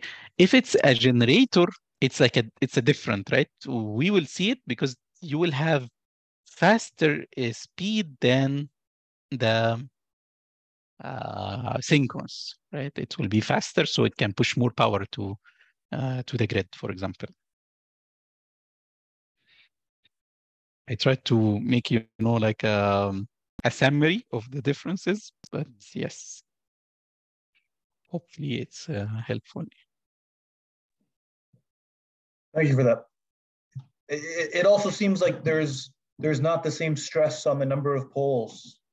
Because I think that there was a formula in the synchronous where the um, frequency was based on like the number of poles times something divided by 120 Speed, speed, yes, correct? Yeah. times the speed in RPM, yeah, over 120. We actually we are going to use this uh, here in um, to get the syn the synchronous speed. You will see in uh, solved problems we are going to use the same equation to get the synchronous speed. Then we are going to use the slip to get the mechanical speed. So the, we have number of poles in the induction. We have the synchronous speed only for the stator. We are going to use to have the synchronous speed in the uh, uh, stator, yeah. And then mechanical speed with the slip to get the mechanical speed in the rotary.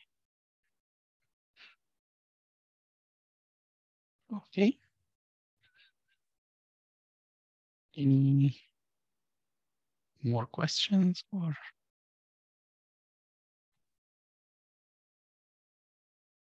Okay, no more question. We can um, have a quick, um, maybe like five minutes break, and then we can return back.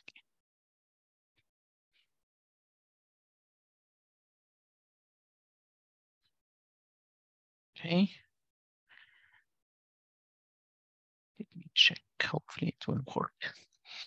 Okay, so we finished the the one for the maximum, or sometimes we will use it for starting. Usually the problem you will see, we are going to solve one today. It's including like asking for the maximum uh, torque and the speed that the maximum torque happens and uh, the um, uh, starting torque. Next is the torque speed characteristic. And this one is important too as a knowledge problem and to understand the torque, like the induction in general. So we have two um, torque speed characteristic, but uh, here I included only the generator, uh, sorry, only the motor. Uh, for the motor, you have, you can see, this is of course the torque, torque, and this is the speed in N, RPM. The torque started at zero speed. This is the starting torque, and this this is something good for the motor. It's a self-starting. It it's it it has like a, a starting torque, right? Then it reaches to the here we call it like the pull-out torque or the torque max. This is what we calculated from the equation, okay? And this is the speed n max. It's not the maximum speed, but the speed the the the to the maximum torque happened. Okay, and this is the full load uh, torque. Okay, it looks like this. Okay, at this speed, when you have zero torque, it's the synchronous speed. Usually, the full load torque is, you know, relatively close to the synchronous speed. Okay, if your machine is not loaded, you will find it, it's very, very close to the synchronous speed, but not synchronous speed, of course. Okay, and this one only for the motor. You can, you can see multiple things here. First, you have a starting torque, usually or larger than the full load torque. So full, maybe like double as here or even more. You have maximum torque. It's uh, a big one, pull-out torque. Uh, the reason that we have a, st a starting torque larger than your load, so it can start your load smoothly. So if you have, for example, a torque here, it's larger than the starting torque. So once you start, you will not be able to start actually like it's, uh, it should be less than your starting torque, your, your load. Okay. This section, the section near the full load is almost linear. You can see it's this one is almost a line, right? You can see it's almost a line here. This is a line. After that, it's not linear, of course. After the, so around the full load, around this area, it's a linear. Okay that's that's mainly it. I just want to say something about the slip. The slip at zero speed, this is zero speed, is one. Slip here is at synchronous speed is zero. Between zero and one, your machine is a motor. I can show you, I can show you, show you, sorry, like um, another one that includes everything, not just the motor not just the motor region that we studied or we, we saw, the motor region here, we are going to cover everything. So slip here is like for this zero speed, it's one. Step here at synchronous speed is zero. Slip here in negative, less than zero. A slip here larger than one. So for the motor, slip between zero to one. One at standstill, zero at synchronous speed. Okay. Then if your, ma your machine has larger speed than the synchronous, then it will turn to be a generator. Okay. And this is the generator. Of course, the generator, you already have like another uh, torque, maximum, and so on. We only study the, the motor region, as I said. For the braking region, the braking region, we will study uh, or we will have a bullet for this, but it's when your your speed is reversed. Like, how can I do this? Make the instead of making a torque in anti-clockwise or counterclockwise to clockwise, you have three phases, right? A, B, and C. You only flip two or swap like to any two phases, any two. By doing this, the rotating field will change instantaneously to opposite direction. So you will make a torque in the opposite direction. And this one, we use it like for emergency braking. We call it like, because this one is very aggressive braking. This is like a kind that you have in the subway. Like it's a very, very uh, strong braking. Okay use it for emergency. Sometimes for, even for the shaft, it's doing some mechanical issues like uh, twisting the shaft because it was rotating in this direction and you suddenly apply another torque in the opposite direction. Okay, and you do it only by swapping to any two of the three phases of the supply. Okay. I believe that's set for the induction. Let's go through like some uh, summary of this. Um, one, as I said, one of the knowledge question was to draw the uh, torque speed characteristic. I believe it was for the motor. If they said for the machine, you have to do this. If they said for the motor, you only need to do the first one. That's it. This is motor region. This is everything, motor, generator, and braking. Okay. So let's go one by one here for the steps uh, or notes here. The torque, the induced torque of the motor is zero at synchronous speed, of course. When the S equals to um, zero, you will find that R2 over zero is equals to infinity. So no power is going to from your uh, P converted is zero, right? because it will be open circuit R2 over S. S is zero, so R2 over S infinity, it means open circuit. So there is no power um, actually in the air gap going from the jumping from the stator to the rotor. Second one is the torque speed curve is nearly linear between the no load to the full load. Remember this area? This one is very close to linear part we will see like a problem, a solved problem related to this, I believe. Okay. So it's like, you know, the rotor current, magnetic field, torque are all proportional with the slip. Okay, if the slip, if the torque increase, the slip increase and so on. There is a maximum possible torque that cannot be exceeded, definitely. And we said like it's a very large one. This is the torque max. Okay, sometimes we call it pull-out torque, breakdown torque, maximum torque. They are all the same. Starting torque for the motor is larger than the full load. Not just slightly, sometimes it's quite larger. Maybe as you saw here, it's almost double, right? 200 of the 100 uh, percent of the full load. Okay. Um, this is important that the torque is proportional with the voltage squared of your supply. And uh, you can see this actually in the equation, right? The, the torque proportional with the voltage squared. Okay.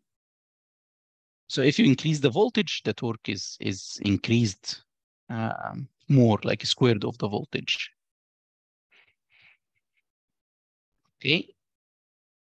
Uh, so if the uh, rotor for the induction motor is driven faster than the synchronous speed, this is, is going to, to be a generator. Then the direction of the induced torque in the same machines reverse definitely.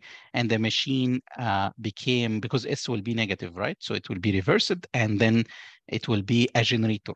Instead of like you are um, taking power to move your uh, or rotate your rotor, then you are going to use the power from the rotor to uh, your back to your supply. Okay. If you have, let's say, like a battery connected through converters, then you can take power. You can, and this is this is important because um, electric vehicles, for example, uh, during the braking, they are uh, using this kind of things. So you have uh, not just the braking, even if you have like a car, electric vehicles, electric vehicles, and going to uphill and then down the hill. So during, this is the vehicle, during the downhill, it will be move very fast, okay? And the speed will be higher than the synchronous. So you can use this power to do braking by taking the power from your, your mechanical uh, power to back to your battery. So you generate, like you uh, charge your battery from this speed. And this is like making a kind of load on your, um, you know, like uh, on the wheels. So it's doing like a kind of like braking. We call it like regenerative braking. Okay. And this one, we use it for the electric vehicles just to, it's a good way to stop the car using this kind of energy to charge your battery. And instead of using like mechanical braking for example okay which is like wasting your uh, power. Okay. I believe we have another point. It's the related to the braking. Braking which is different than regenerative braking this is like the emergency braking if the motor is turning uh, backward relatively to the direction of the magnetic field, this is how can we do it? You can do it by, um, you know, like swapping any two phases of the three phases of your supply. Uh, then the magnetic field will be like um, rotated by or like reversed and any yes as i said like switching any two uh, stator phases and then used to make like a very rapidly stop of your, not just a stop, it can rotate in opposite direction actually, but it's, it will be very, very uh, tough braking. Okay. Uh, in this case, because sometimes we call it like plugging. Yes. Yes, please. Yeah, go ahead. Uh, in this case, uh, Mohammed, what changes the, the direction of the magnetic field when you exchange the the when you switch the phases phase, right? Yes, because when you have like phase A, B, C, if you uh, do it like A, B, C, if you look at this one, it rotates, you see A, B, C. What if it's moving in the opposite direction? You will see A, C, and then B. You can do this by using the normal ABC and then move, for example, uh, or swap, switch both like C and B. Rotating at the same direction, it you will see ACB, right? It will be as if you make like um make the field, the magnetic field rotating in the opposite direction. Okay, so just by moving two of your phases. You have your supply connected to your motor. So any two phases, you don't have to know which A, B, C, or whatever. So it was like this, just to change one of them. That's it. You will have in the opposite. And actually, you, we do this by having the switch, for example, in the subway. Uh, the emergency braking, it's something like this. It will be very aggressive braking, very, very aggressive. Like it's um, emergency uh, and it uh, impacted the lifetime actually of the shaft. Sometimes it damaged the shaft completely making like a twist because it was rotating in one direction and you apply the full power at the opposite direction immediately, like without any, you know, like uh, delay or something. Okay. Is it uh, clear or? Uh... Yeah, yeah, thank you. Okay, thank you. Thanks so much. We call this one as a plugging or emergency braking, yeah, if you want to use that. I believe by this we can go to the examples. We don't have a lot of examples um, and they are relatively easy. So let's start. The first one is, uh, the first example is the star connected or Y connected induction. As we said, all the induction we have here are three phase and motors only motors and only three phase. Okay, in reality, there are generators for the induction and single phase too. So voltage, this is the voltage. Of course, it's a line. Given it's a line. You have the output power. By the motor, always the power given is the output rated power actually. Okay. Uh, here, number of poles. So you have the number of poles P you have uh, frequency synchronous. This is the synchronous frequency, star connected motor with a has a full load slip of the 5%. So S equals to 5% or it's 0.05. Okay, we always use it with this format. They asked about what is the synchronous speed of this motor. We will use A. We are going to use the same uh, equation like the synchronous, like it's a Pn over 120. Sorry, 120. P is the number of the poles, the four, always even. Okay. N is the one that we need to get the synchronous uh, frequency is 60 and 120. So you can calculate the N synchronous. What is the rotor speed of this motor at the rated load? So rotor speed, okay, you can call it N rotor or NM, like the mechanical speed of your machine. So to do this, we have, you can use like n m equal to 1 minus s times the n of the synchronous. We already calculated n synchronous from the first step. S is given.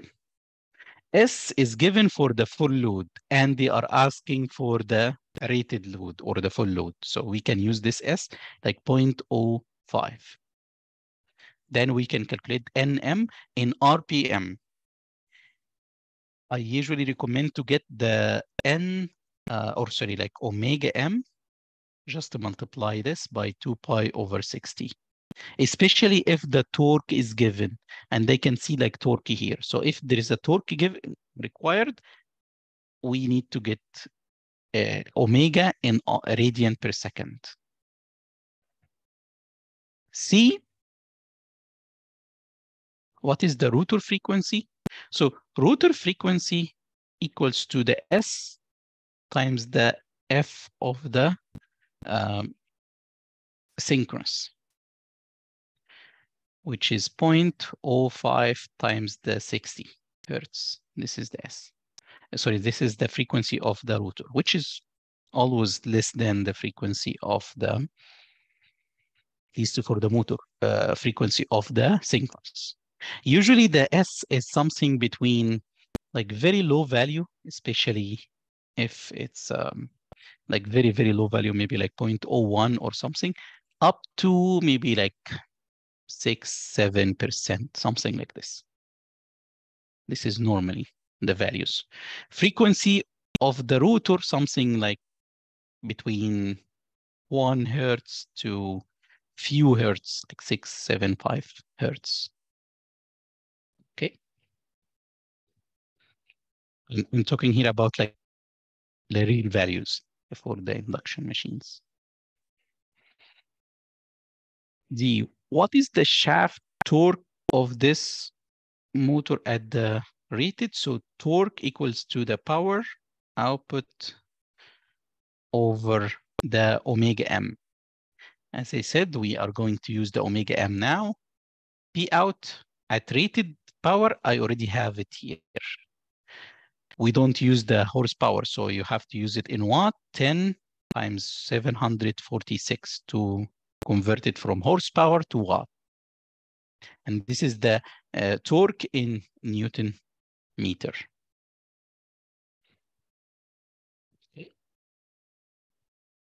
Any question for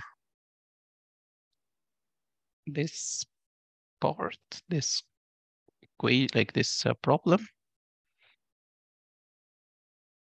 I can show you like the answers for each step. So this is the synchronous speed, the first part one that we got like uh, in RPM. You got the NM, 1 minus S times the N synchronous. Frequency of the rotor, it's S times the frequency of the uh, synchronous. Okay, 3 hertz, which is good. Okay, you, they have another one, you know, like it's uh, similar to what we used to do for the synchronous. You remember for the synchronous uh, frequency, if synchronous equal to uh, P times N synchronous over 120. You can do the exact same equation for the rotor. It's P over 120, but the speed is the difference between the synchronous minus the N mechanical. It's this is another equation for the rotor frequency. Or you can call it it's S times the F of the synchronous. Okay, you can use either or, like you can use any of these two equations. I usually use this. If you want use this, that's okay. So the frequency of the rotor is like the difference between, it depends on the slip, right? It's the difference between the speed of the rotor and the speed of the synchronous of your supply, frequency of your supply. Torque is output over uh, P output over omega, the torque. We have to make the power in uh, watt the speed in radian per second, then you will get torque in Newton meter. Okay. No question, we can go to the next step.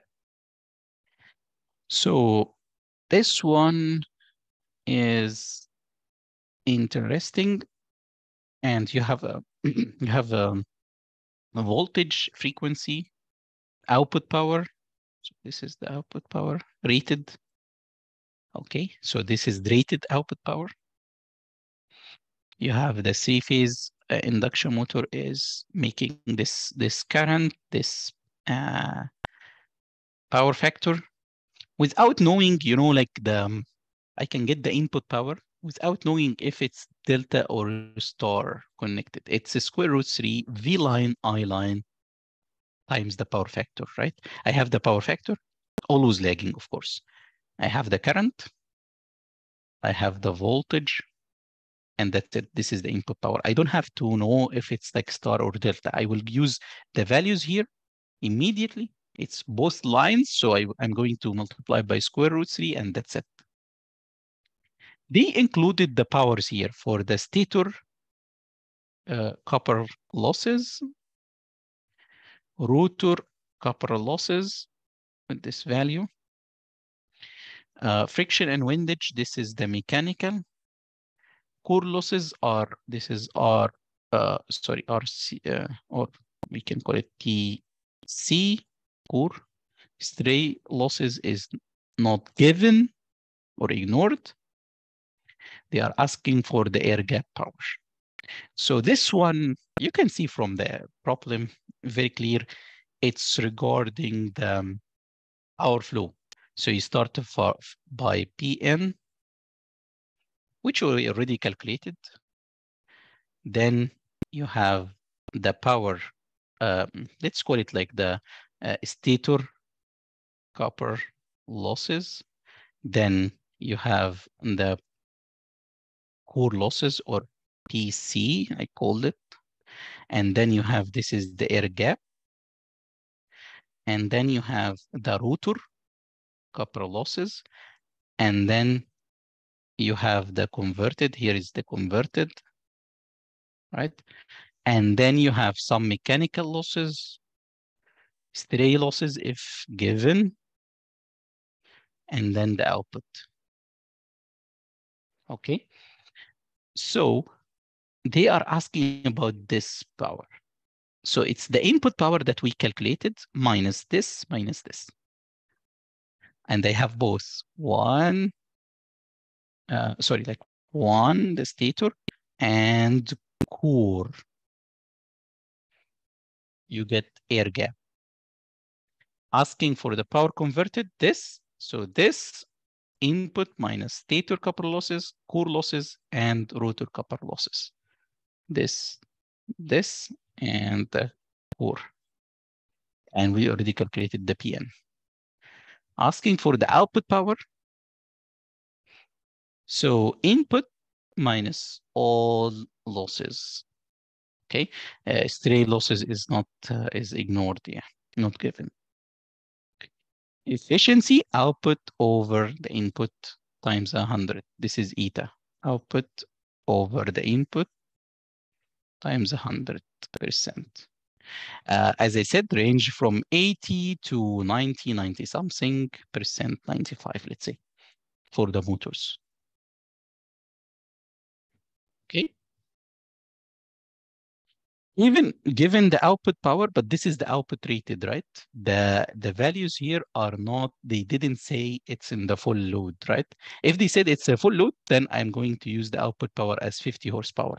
But this time they said three-phase induction motor is drawing this current. They didn't say it's, is it full load or not? Definitely it's not full load. Otherwise they should say, okay, it's full load or rated power or something. Okay. And they can show you like the answer, the steps. We, you can of course draw something like this, or at least you can draw it as a dip, something, you know, uh, briefly having like a, the power flow. The steps first to get the input power, and then the air gap, it's input minus short, uh, uh, sorry, stator copper losses and the core losses converted, it's the air gap minus the core, uh, uh, sorry, rotor copper losses. Output, it's the converted minus the losses. And then get the eta, the efficiency. Efficiency is 88%. That's a very good one. Okay, so this is like a problem just for the power flow, to understand the power flow. Okay, let's solve this one because this one is very close to things that we you will see in the exam. Actually, this one like uh, we we we have it in one of the exams. So you have the um, uh, voltage, power, P, frequency of the synchronous, uh, P out rated it's a star connected voltage. This is the voltage line, of course. And you have all uh, values are R1, R2, X1, X2, And XM, okay. Core losses, they said it's already uh, lumped in the with it with the rotational losses and they're giving the rotational rotational losses it means the mechanical losses. It's another name for the mechanical losses. And you have everything. You have r1 x1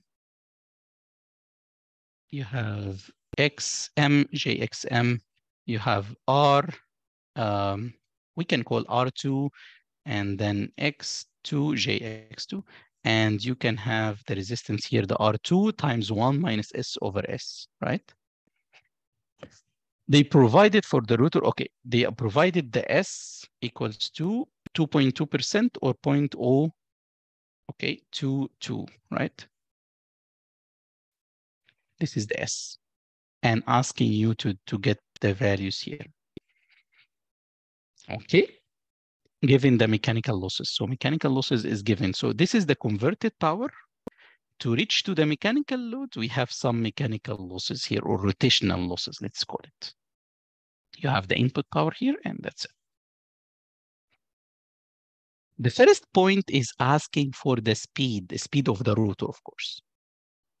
We are going to, to do exactly what we did for the first example. First, calculate the synchronous speed from F equals to Pn over 120. This is the synchronous, this is the synchronous. You have the number of poles, you have the frequency, you can get the asynchronous. Asynchronous, why I use the, or how can I use asynchronous to get the NM? It's equal to 1 minus S over the uh, times the N synchronous you have the S given, then that's it. Use the asynchronous here, and that's it. There is a torque here, so you can move the N uh, mechanical to omega m by multiplied by 2 pi over 60 radian per second, because I, with the torque, I only use omega in radian per second. Okay? You need, this is the first step, you need to get the stator current, the I1 here. So to get I1, I have all the values here, right? All the values here. Even I have S. So you can do like a circuit. You have this voltage, okay? It's like 460 angle zero over square root three phase here per phase. And try to calculate this current by getting this impedance and voltage over impedance. You have all the values. You have this branch in parallel with this, then in series with this. You can call R2 plus this one is R2 over S. So just to make it, uh, you know, smaller number of elements. Get this impedance okay, complex numbers, of course, divided this one by the impedance, get the current as a magnitude and angle. The angle must be negative because it's always lagging, just to make sure you get it right. Because the second one, they ask it for the magnitude. The second one, they ask it for the power factor, so cosine of this angle. But it's just this is just a circuit very simple circuit analysis right? To get the impedance uh, equivalent impedance. You can actually try to uh, test your your uh, you know uh, calculator using the complex numbers. Asking for next one asking for converted and output power. Converted here and the output power here after the mechanical losses or rotational losses. So converted, I can get it by, uh, because the power converted is, I know it's, I can, first I can do the circuit, get this current, I2, it's a 3I2 squared times this resistance, do, using the circuit. Or I can use it by uh, 1 minus S times the power air gap. I know the S, it's already given. Air gap, the power air gap is the input power, which I already calculated the input power, or like which I can calculate it actually. Um, if I have the current, power factor, and the voltage, you can calculate the input power minus 3I1 squared R1. I already calculated I1, R1 given. So it will be, this one will be very, or, or easier. Uh, if you like the circuit analysis, that's that's another another option. You can actually do both and check your answers in both. Output power, all you need to do is just subtract this mechanical losses, and that's it, the given here. Efficiency, I already calculated input and output. So output over input and check the values. It should be something like within 80 and, you know, like 50, uh, 95 or something percent. Let's see this one and that's it yeah for today but let's check the values and uh, we can uh, if you have any question you can. So this is the per phase the values for the synchronous okay speed. This is how like they use the circuit analysis to do the part. They did it in in a couple of um, you know steps but you can do it like immediately if you are you know comfortable to do it. Then you get the current. The angle is always negative because it's lagging for the motor. Power factor with this lagging. Get the input power, the stator copper losses, get the air gap, converted power, output power, and at the end you can get the um, efficiency, which is the output over the input. Okay. 38, uh, 93 um, percent, that's a very good number. It's a good number for, I mean, for the machines within at least our range. We still have a couple of questions. We can uh, solve the problems. We can do it next time. No problem, no rush. But do you have any question so far for um, the induction machines in general? Or any question in, in the course.